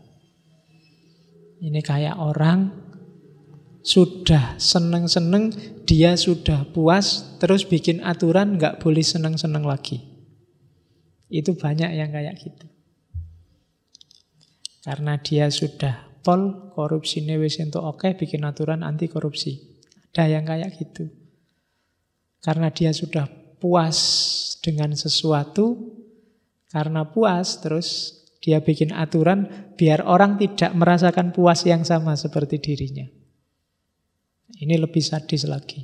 Dalam konteks itulah sering undang-undang dibikin oleh yang punya kuasa bikin undang-undang. Segala aturan dibikin. Kenapa kok Pak RT bikin aturan apel itu paling malam sampai jam 10 aja ya? Kalau memang pertimbangannya gawat kalau di atas jam 10 anak-anak ini kan nafsunya masih besar, tidak apa-apa. Tapi kalau pertimbangannya Pak RT-nya bilang, alah Aku kan wis nikah, ora butuh apel. Nah ini kayak ini. Jadi kayak contohnya orang yang sudah puas ikut. Padahal Pak RT waktu pacaran dulu mungkin lebih ganas daripada yang sekarang itu. Nah, itu karena dia sudah puas sekarang bikin aturan. Jangan sampai lebih jam 10. Itu mungkin kalau kamu tanya kenapa sih Pak RT? Dulu saya kalau sudah di atas jam 10 itu sudah aneh-aneh. Oh berarti dia pengalaman. Nah, itu berarti dia sudah puas terus bikin itu. Nah, itu undang-undang. Terus ini yang panjang kalau disajanya saya bagi dua. Kebebasan. Telah kusaksikan di gerbang kota maupun di dekat tungku perapian. Engkau bertekuk lutut memuja sang kebebasan laksana budak belian merendahkan diri di depan sang tuan.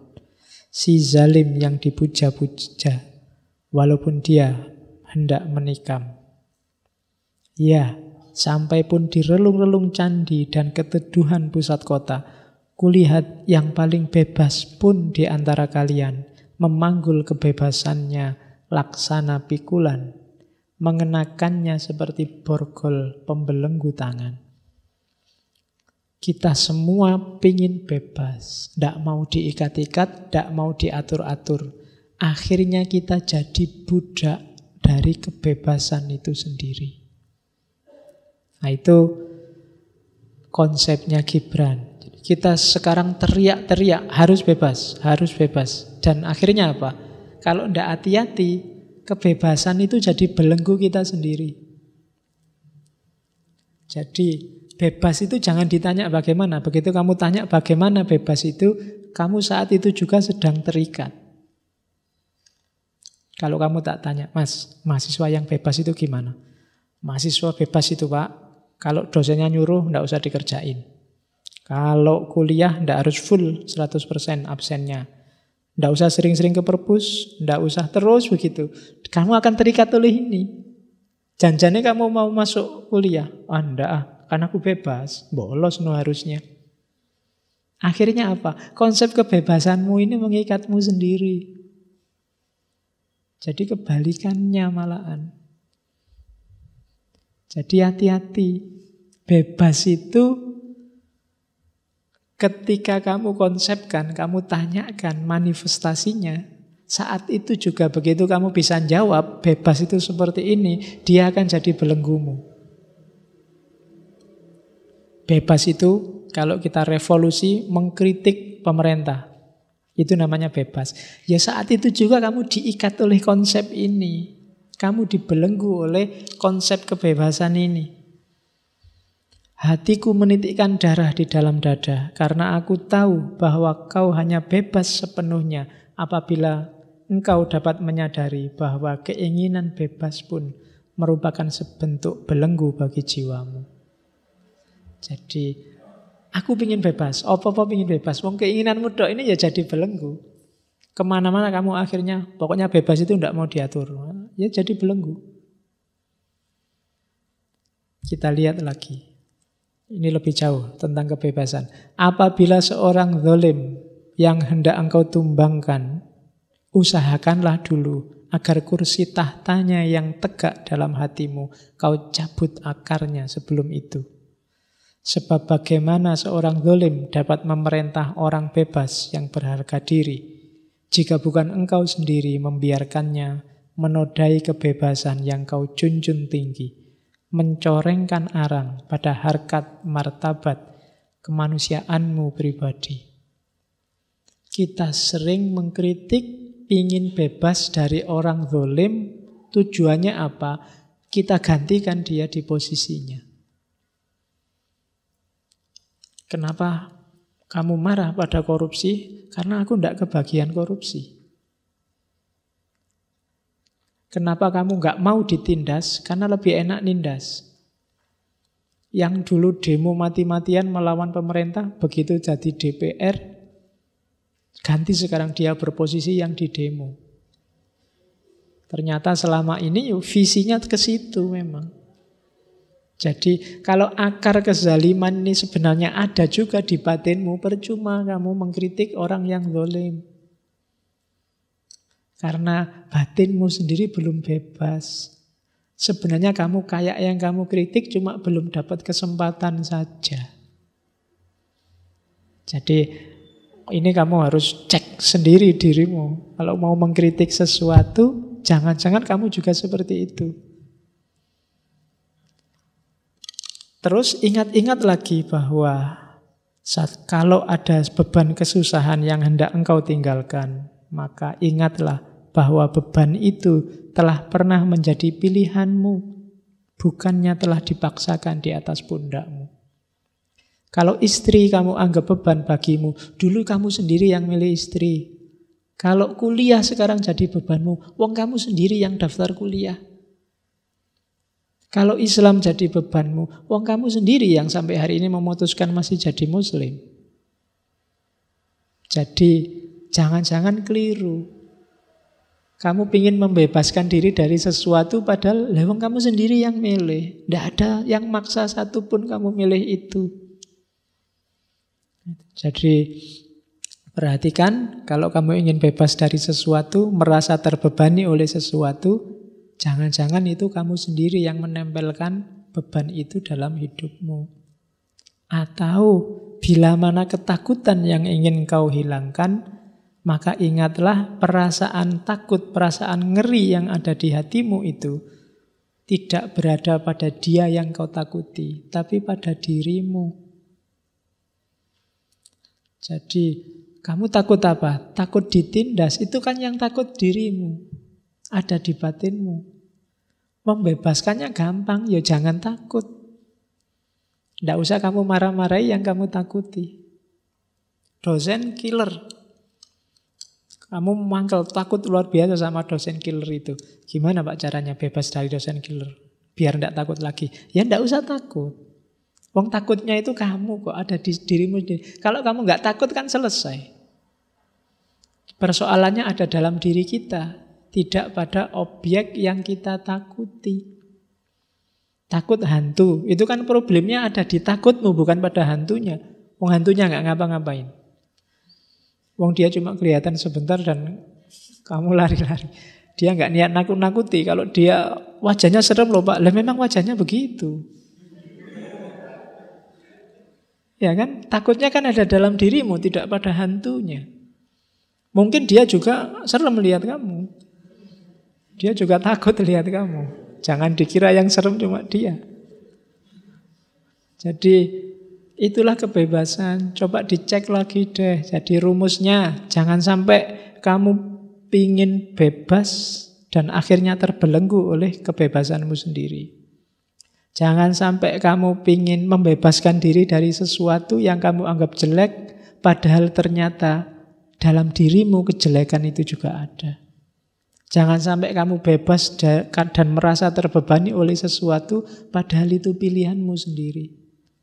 Jangan sampai kamu merasa terikat, ketakutan, tersubordinasi oleh sesuatu, padahal itu kamu sendiri, dalam dirimu sendiri. Gak ada yang menyuruhmu begitu. Itu kebebasan. Terus akal dan perasaan. Akal, pertimbangan, dan perasaan hati diibaratkan kemudi dan layar jiwa yang mengarungi laut kehidupan. Jikalau patah salah satu layar atau kemudi itu, kau masih mengambang, namun terombang ambing gelombang, atau terhenti lumpuh tanpa daya di tengah samudera. Akal yang sendiri mengemudi laksana tenaga yang menjebak diri. Sedangkan perasaan yang tak terkendali bagai api yang membara, menghanguskan diri. Karena itu ajaklah perasaan menjunjung tinggi akal budi, meraih puncak kebenaran sejati. Keduanya mewujudkan sebuah simfoni. Dan turutilah jiwamu membimbing perasaan dengan menggunakan akal pertimbangan sehingga perasaan itu tetap hidup dengan setiap kebangkitannya. Laksana burung fonik membubung tinggi dari tengah abu kebinasaannya. Jadi ini ada yang tanya, gimana tentang akal dan perasaan, rasio dan hati nurani. Katanya Gibran, katanya Al-Mustafa, akal dan perasaan itu seperti kemudi dan layar. Dua-duanya penting. Kemudinya ada, tapi layarnya rusak, tidak bisa bergerak. Layarnya ada, kemudinya rusak, tidak bisa diarahkan. Kalau hanya menuruti hati, perasaan tanpa akal, kadang-kadang kita kejebak, kita keliru, kita tersesat. Atau hanya menuruti akal, tapi tanpa perasaan, ya tidak bisa bergerak. Rasanya hidup ini kering. Tidak ada rasanya. Jadi dua-duanya dalam hidup harus sama-sama jalan. Tidak usah disendiri-sendiri. Pak, saya kan filosof. Akal no yang dinomor satu kan tidak. Akal tanpa perasaan kering. Perasaan tanpa akal tidak terarah. Dua-duanya penting. Akal kita harus hidup, perasaan juga harus hidup. Seperti layar dan kemudi dari sebuah kapal. Oke, terus penderitaan. Ya, derita. Ini masih panjang. Jam 12 nanti selesainya. Oke. Sebagaimana biji buah mesti pecah agar intinya terbuka merekah bagi curahan cahaya Demikian bagimu kemestian niscaya mengenal derita serta merasakan kepedihannya.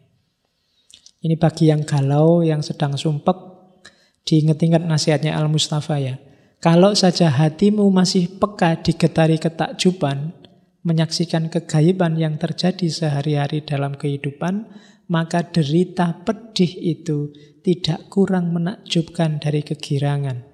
Dan engkau pun akan rela menerima pergantian musim di hatimu Sebagaimana engkau senantiasa rela menerima pergeseran musim yang silih berganti merayapi ladangmu. Semusim datang dan semusim pergi. Galau itu nikmat kalau mau disadari. Penderitaan itu menakjubkan sebagaimana menakjubkannya kesenangan. Kegagalan itu menakjubkan sebagaimana menakjubkannya kesuksesan. Makanya Islam itu kan waktu kita sholat disuruh memperbanyak Allahu Akbar. Allahu Akbar itu kan ungkapan ketakjuban. Kamu sedang senang atau sedang susah, Allahu Akbar. Jadi takjub dan biasa saja. Dalam arti apa? Ada ketakjuban, ada kesenangan kita takjub, ada kesedihan kita takjub, dan itulah hidup. Seperti musim. Ada musim hujan, ada musim kemarau. Kadang senang, kadang susah, seperti suka dan duka tadi. Banyak di antara yang kau derita adalah pilihanmu sendiri. Dialah ramuan pahit pemberian hidup pada pribadi demi penyembuhan bagian yang parah di dalam hati. Maka percayailah tabib itu dan reguk habis ramuan pahit kehidupan dengan cekatan, tanpa bicara. Maksudnya tanpa bicara, tanpa mengeluh, Penderitaan itu obat. Yang bikin kita semakin matang dalam kehidupan itu penderitaan. Kalau kamu senang terus, kamu tidak akan dewasa. Anak kecil yang dimanja terus oleh ibunya, oleh orang tuanya, dia tidak akan dewasa, tidak akan matang. Kadang-kadang harus dibikin susah, kadang-kadang minta apa tidak harus dikasih. Kadang-kadang ingin melakukan apa harus dilarang.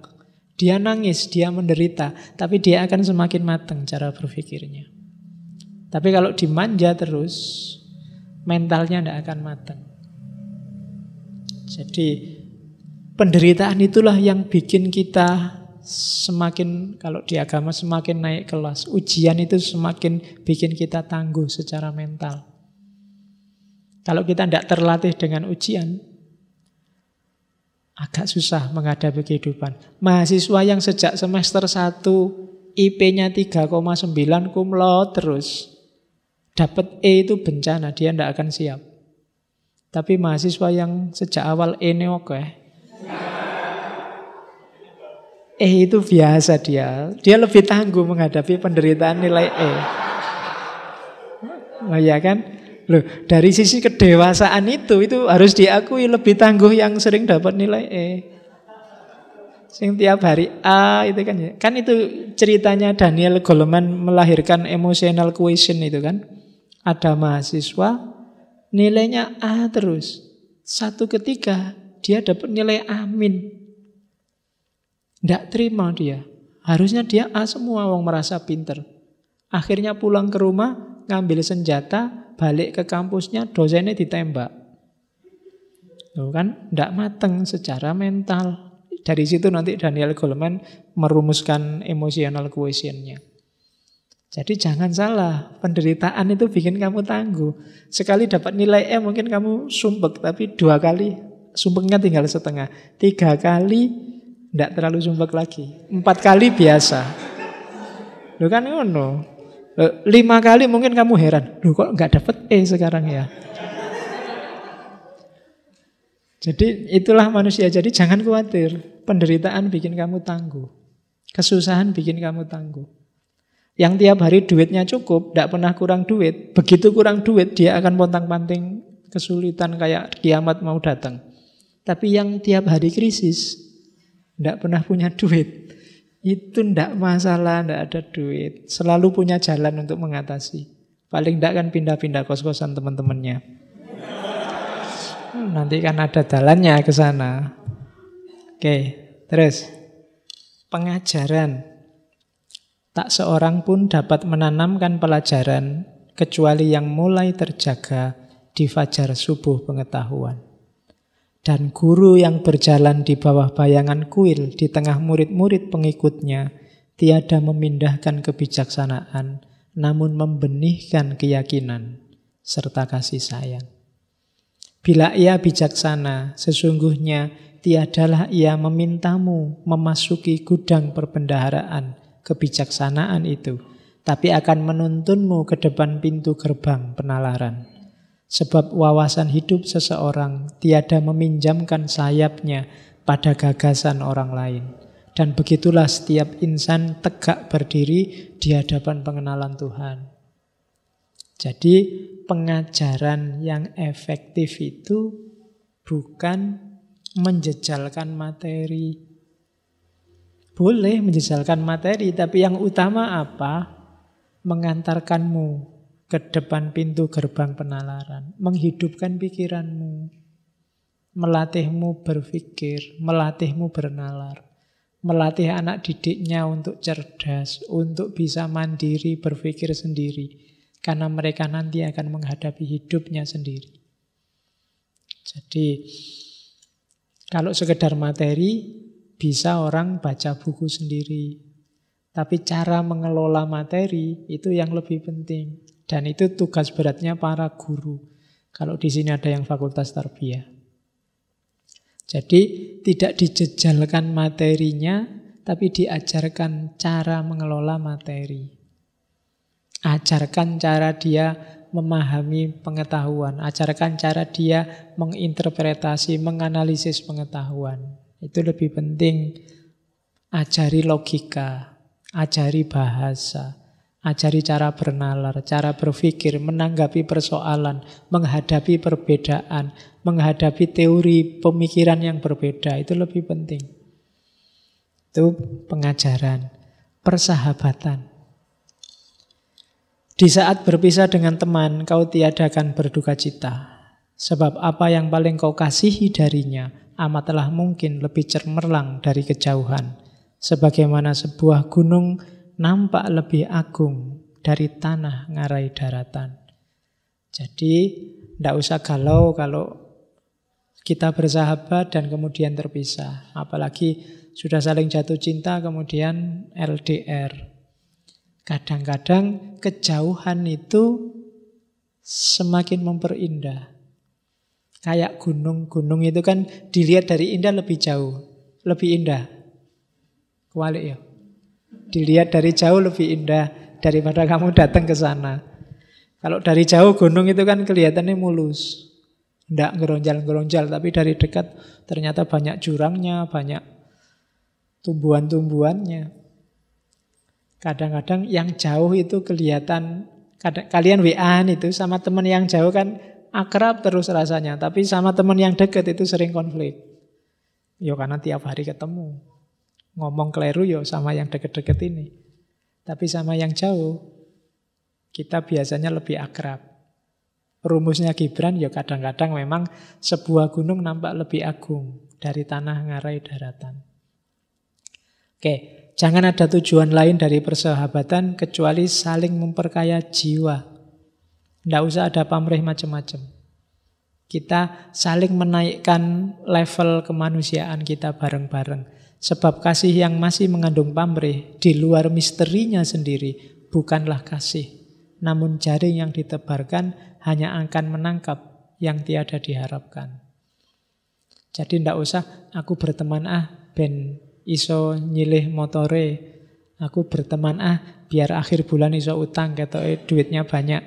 Aku berteman ah Nah, kalau kayak gini bukan persahabatan, tidak memperkaya jiwa. Persembahkanlah yang terindah demi persahabatan. Jika dia harus tahu musim surutmu, biarlah dia mengenal pula musim pasangmu. Sebab siapakah sahabat itu hingga engkau hanya mendekatinya untuk bersama sekedar akan membunuh waktu. Jadi kadang-kadang kita waktu galau kan nabrak-nabrak nyari teman yang bisa diajak curhat. Tapi waktu seneng diem aja. Waktu dapat hadiah uang banyak meneng wae. Ndak kabar-kabar, tapi waktu stres, wah gayane curhat di Facebook, di WA, temennya dikasih tahu semua, aku sedang susah nih. Jadi nyari teman hanya untuk tempat curhat. Ada juga nyari teman yang tinimbang nganggur, hanya untuk membunuh waktu. Carilah teman untuk bersama menghidupkan sang waktu, bukan menghabiskan waktu. Nah, kamu yang bisa menafsirkan ya. Hidupkan waktumu bersama-sama, bukan habiskan waktumu bersama-sama. Jadi lakukan bersama-sama hal-hal yang bermanfaat, yang nantinya tidak kau sesali. Kayak saya bilang di awal tadi, jangan sampai nanti, oh iya ya, dulu aku deket sama dia, coba aku belajar itu dari dia, coba aku dapat sesuatu dari dia. Kalau sudah lewat, ya eman-eman, karena kemarin cuma menghabiskan waktu. Sekarang saatnya menghidupkan waktu. Terus kebaikan dan kejahatan. Katanya Gibran, tentang kebaikan manusia aku bisa bicara. Namun tidak mengenai kejahatannya. Sebab apalah kejahatan itu selain kebaikan juga yang tersiksa oleh lapar dan hausnya sendiri. Sebenarnya jika kebaikan itu kelaparan, dia akan mencari makanan walau sampai ke lorong kegelapan. Dan apabila dahaga, ia akan minum walau yang direguknya air beracun. Engkau benar apabila engkau berusaha memberikan dirimu. Namun engkau bukannya jahat apabila engkau masih mencari untung bagi dirimu. Sebab pencari untung diibaratkan hanya sekedar menghisap susu ibu bumi bagaikan akar. Jadi kejahatan itu katanya Gibran sebenarnya nggak ada. Yang ada itu kebaikan yang tidak menemukan wadahnya. Yang kehausan dan kelaparan itu maksudnya kehilangan konteksnya. Bunuh orang itu kalau konteksnya pas ya boleh. Bunuh orang untuk kisos, bunuh orang untuk dalam waktu peperangan, nyawamu terancam. Dia baik, tapi begitu kehilangan konteks, dia jadi jahat. Dalam rangka terorisme, dia jadi kejelekan. Minum, lupa ya saya tadi nggak minum.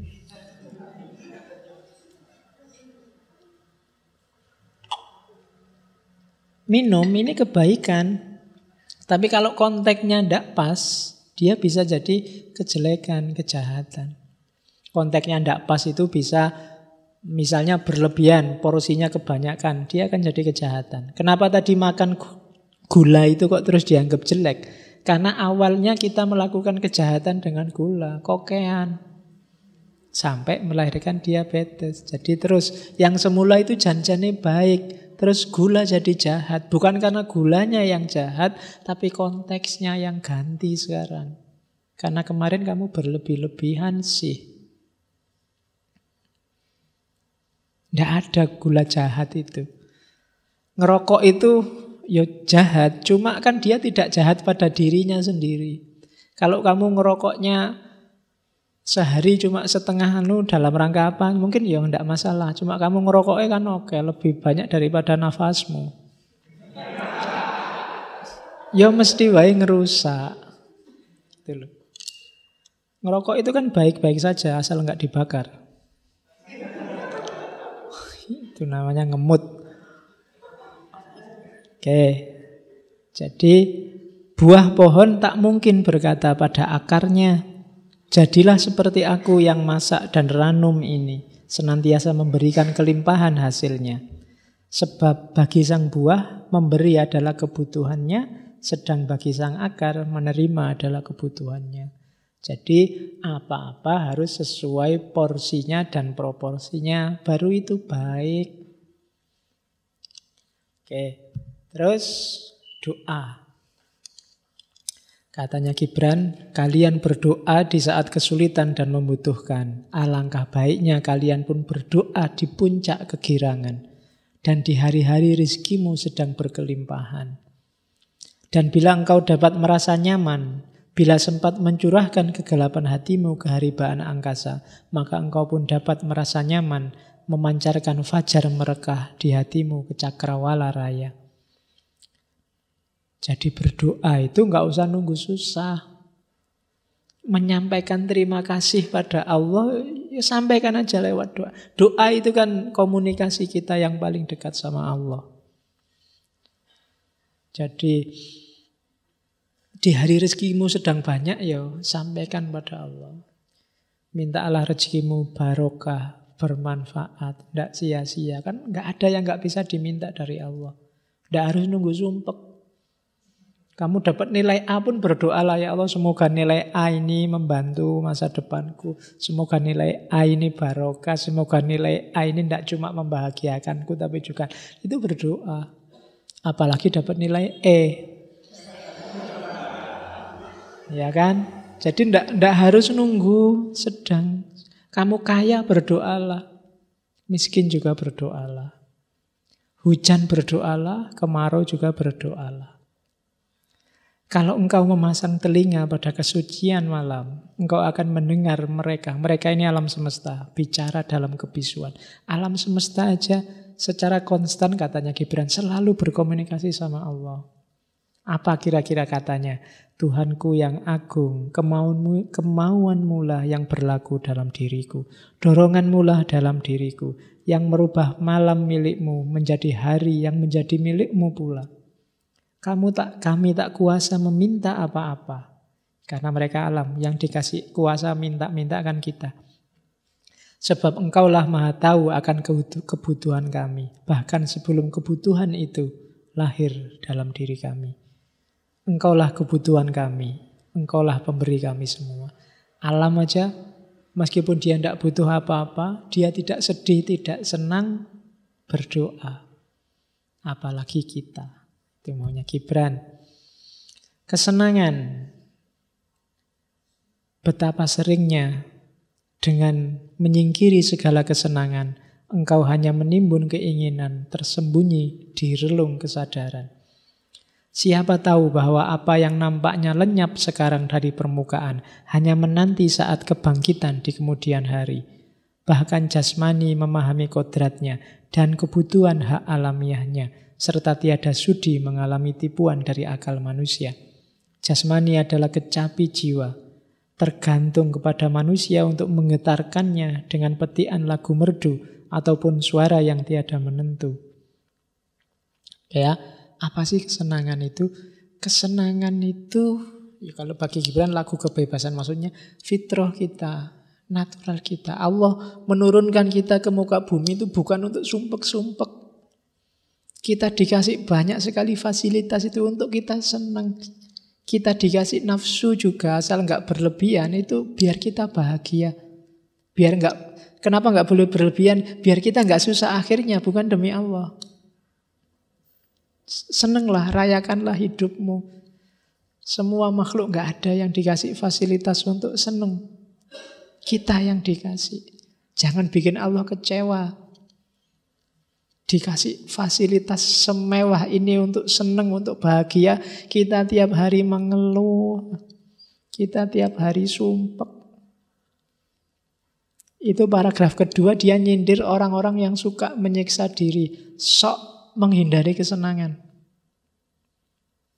Termasuk yang ndak nikah, ndak mau makan puasa terus-terusan, yang yang sejenis itu. Katanya Gibran, ah itu cuma memendam saja. Pada saatnya dia bisa tampil, bisa dadi. Ada orang demi spiritualitas yang jasmani tak tinggal. Ah, hati-hati itu blunter, dia cuma dipendam. Itu yang bikin ada orang level spiritualnya tinggi, tiap tahun gonta ganti istri. Ada kan yang kayak gitu.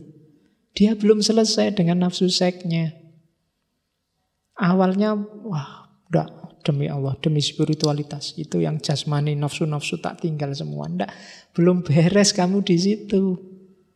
Bereskan dulu urusan itu, baru naik kelas ke level spiritualitas. Penuhi dulu hak jasmaniahmu, setelah itu naiklah ke level spiritual.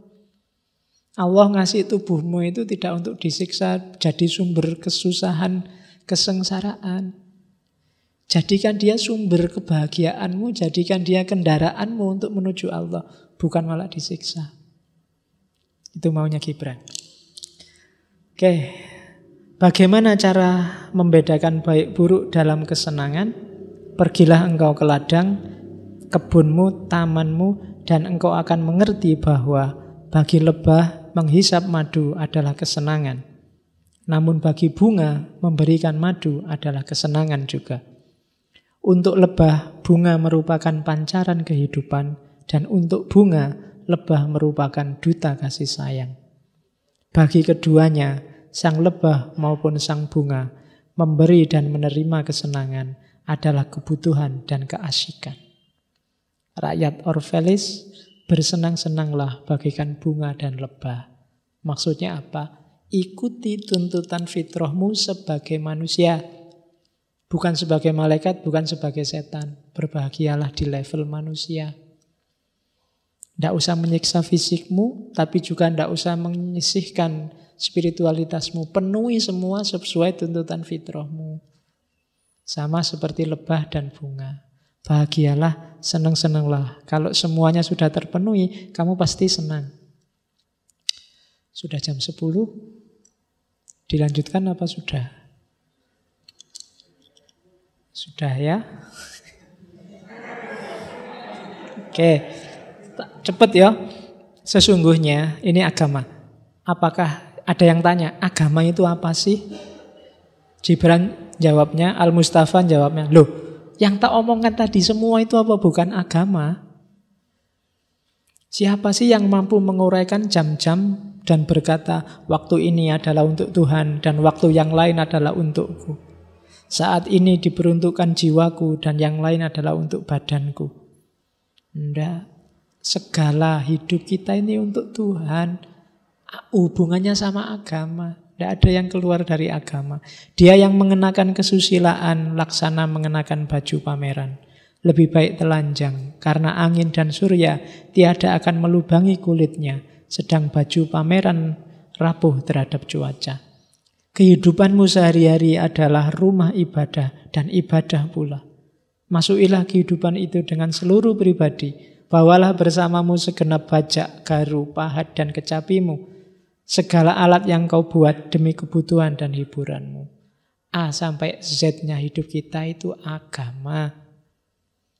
Agama itu tidak ada tidak harus yang berhubungan dengan Al-Ma'idah 51. Tidak harus yang berhubungan dengan semuanya agama. Tidak harus dipisah. Oh ini politik bukan agama, ini agama. Tidak. Yang kita omongkan tadi mulai makan, persahabatan, kebebasan, semuanya agama. Kerja semuanya agama. Tidak ada yang tidak agama. Kau hendak mengenal Tuhan, maka janganlah kau menjual. Janganlah kau menjadi pemecah masalah. Seyogyanya engkau pandang sekelilingmu dulu dan di situ engkau akan melihat Tuhanmu sedang bermain dengan anak-anakmu. Dan layangkanlah pandangan ke angkasa raya, di sanalah ia bersemayam di antara mega-mega.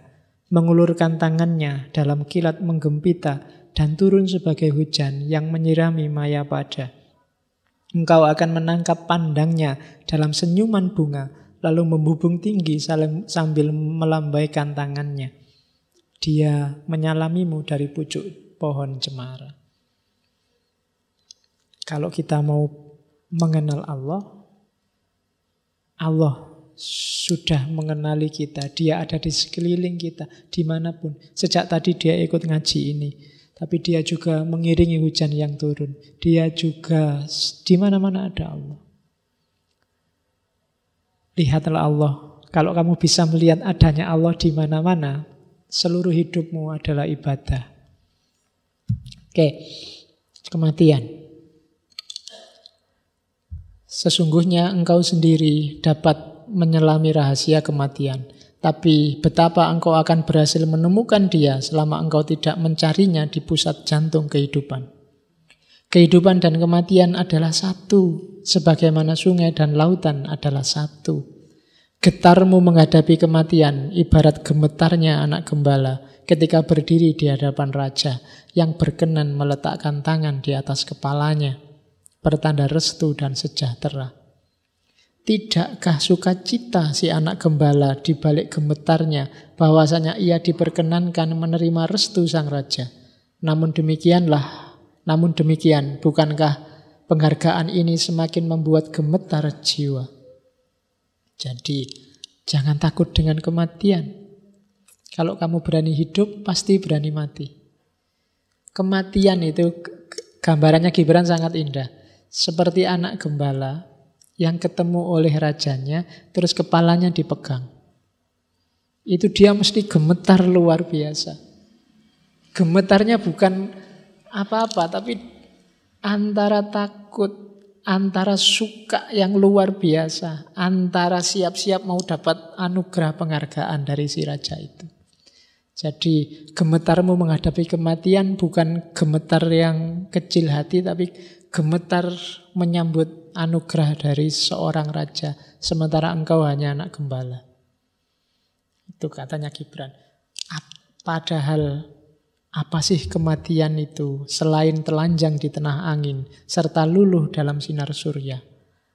Apakah arti nafas berhenti selain membebaskannya dari pasang dan surut ombak yang gelisah, sehingga bangkit mengembang lepas tanpa rintangan menuju ilahi.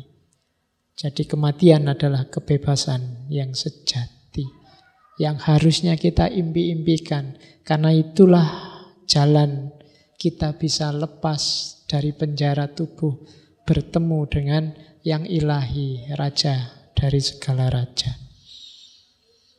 Perpisahan. Ini pidato perpisahannya. Ya. Rakyat Orvalis tercinta, dengarlah, sang angin telah memanggilku pergi. Tiada terburu aku seperti bayu itu, namun saatnya tak tertangguhkan lagi. Kami kaum pengembara yang senantiasa mencari jalan yang lebih sepi, tak pernah menyongsong pagi di tempat sama seperti kemarin, yang masih kami huni dan tak pernah menyambut fajar di tempat sama seperti kemarin kami akhiri. Bahkan selama bumi tidur, berkelana jualah kami. Kami benih tanaman dari jenis yang kuat bertahan dalam keranuman dan isi hatilah letak alasan. Mengapa senantiasa kami terbawa, mengembara di atas pawana, dan tersebar ke mana-mana? Tiada lama aku berada di tengah-tengahmu, terlebih lagi ucapan hati, amatlah singkatnya. Namun apabila gema tutur kataku tiada lagi mengiang di telinga kalian, dan ingatlah akan kasih sayangku yang telah pudar melenyap dari lubuk kenangan. Itulah saatnya aku akan datang kembali lagi untuk berbicara dengan hati yang bertambah kaya dari bibir yang lebih pasrah kepada roh suci. Ya, aku akan kembali nanti bersama gelombang pasang samudra. Oke, ya insya Allah kita akan ngaji lagi rebu depan. Saya kira itu ya Khalil Gibran nutut-nutut ke biar pas sampai khatam The Prophet. Ini cuma potongan-potongan, nanti silahkan dibaca detailnya. Minggu depan kita ganti bulan, saya merancang temanya manusia istimewa. Manusia istimewa bukan orangnya tapi konsepnya. Kita akan ketemu dengan empat konsep. Yang pertama Superman, Ubermensnya Nietzsche. Yang kedua karismanya Max Weber. Yang ketiga kita ketemu insan kamilnya Iqbal, janjani saya mau insan kamilnya Ibnu Arabi, tapi bulan lalu kita sudah ngomong Ibnu Arabi, maka insan kamilnya Muhammad Iqbal, dan terakhir rausan fikirnya Ali Sariati. Itu untuk bulan depan. Temanya manusia istimewa. Oke, saya kira itu kurang lebihnya mohon maaf. Wallahul muwafiq, wallahu a'lam bisawab. Wassalamualaikum warahmatullahi wabarakatuh.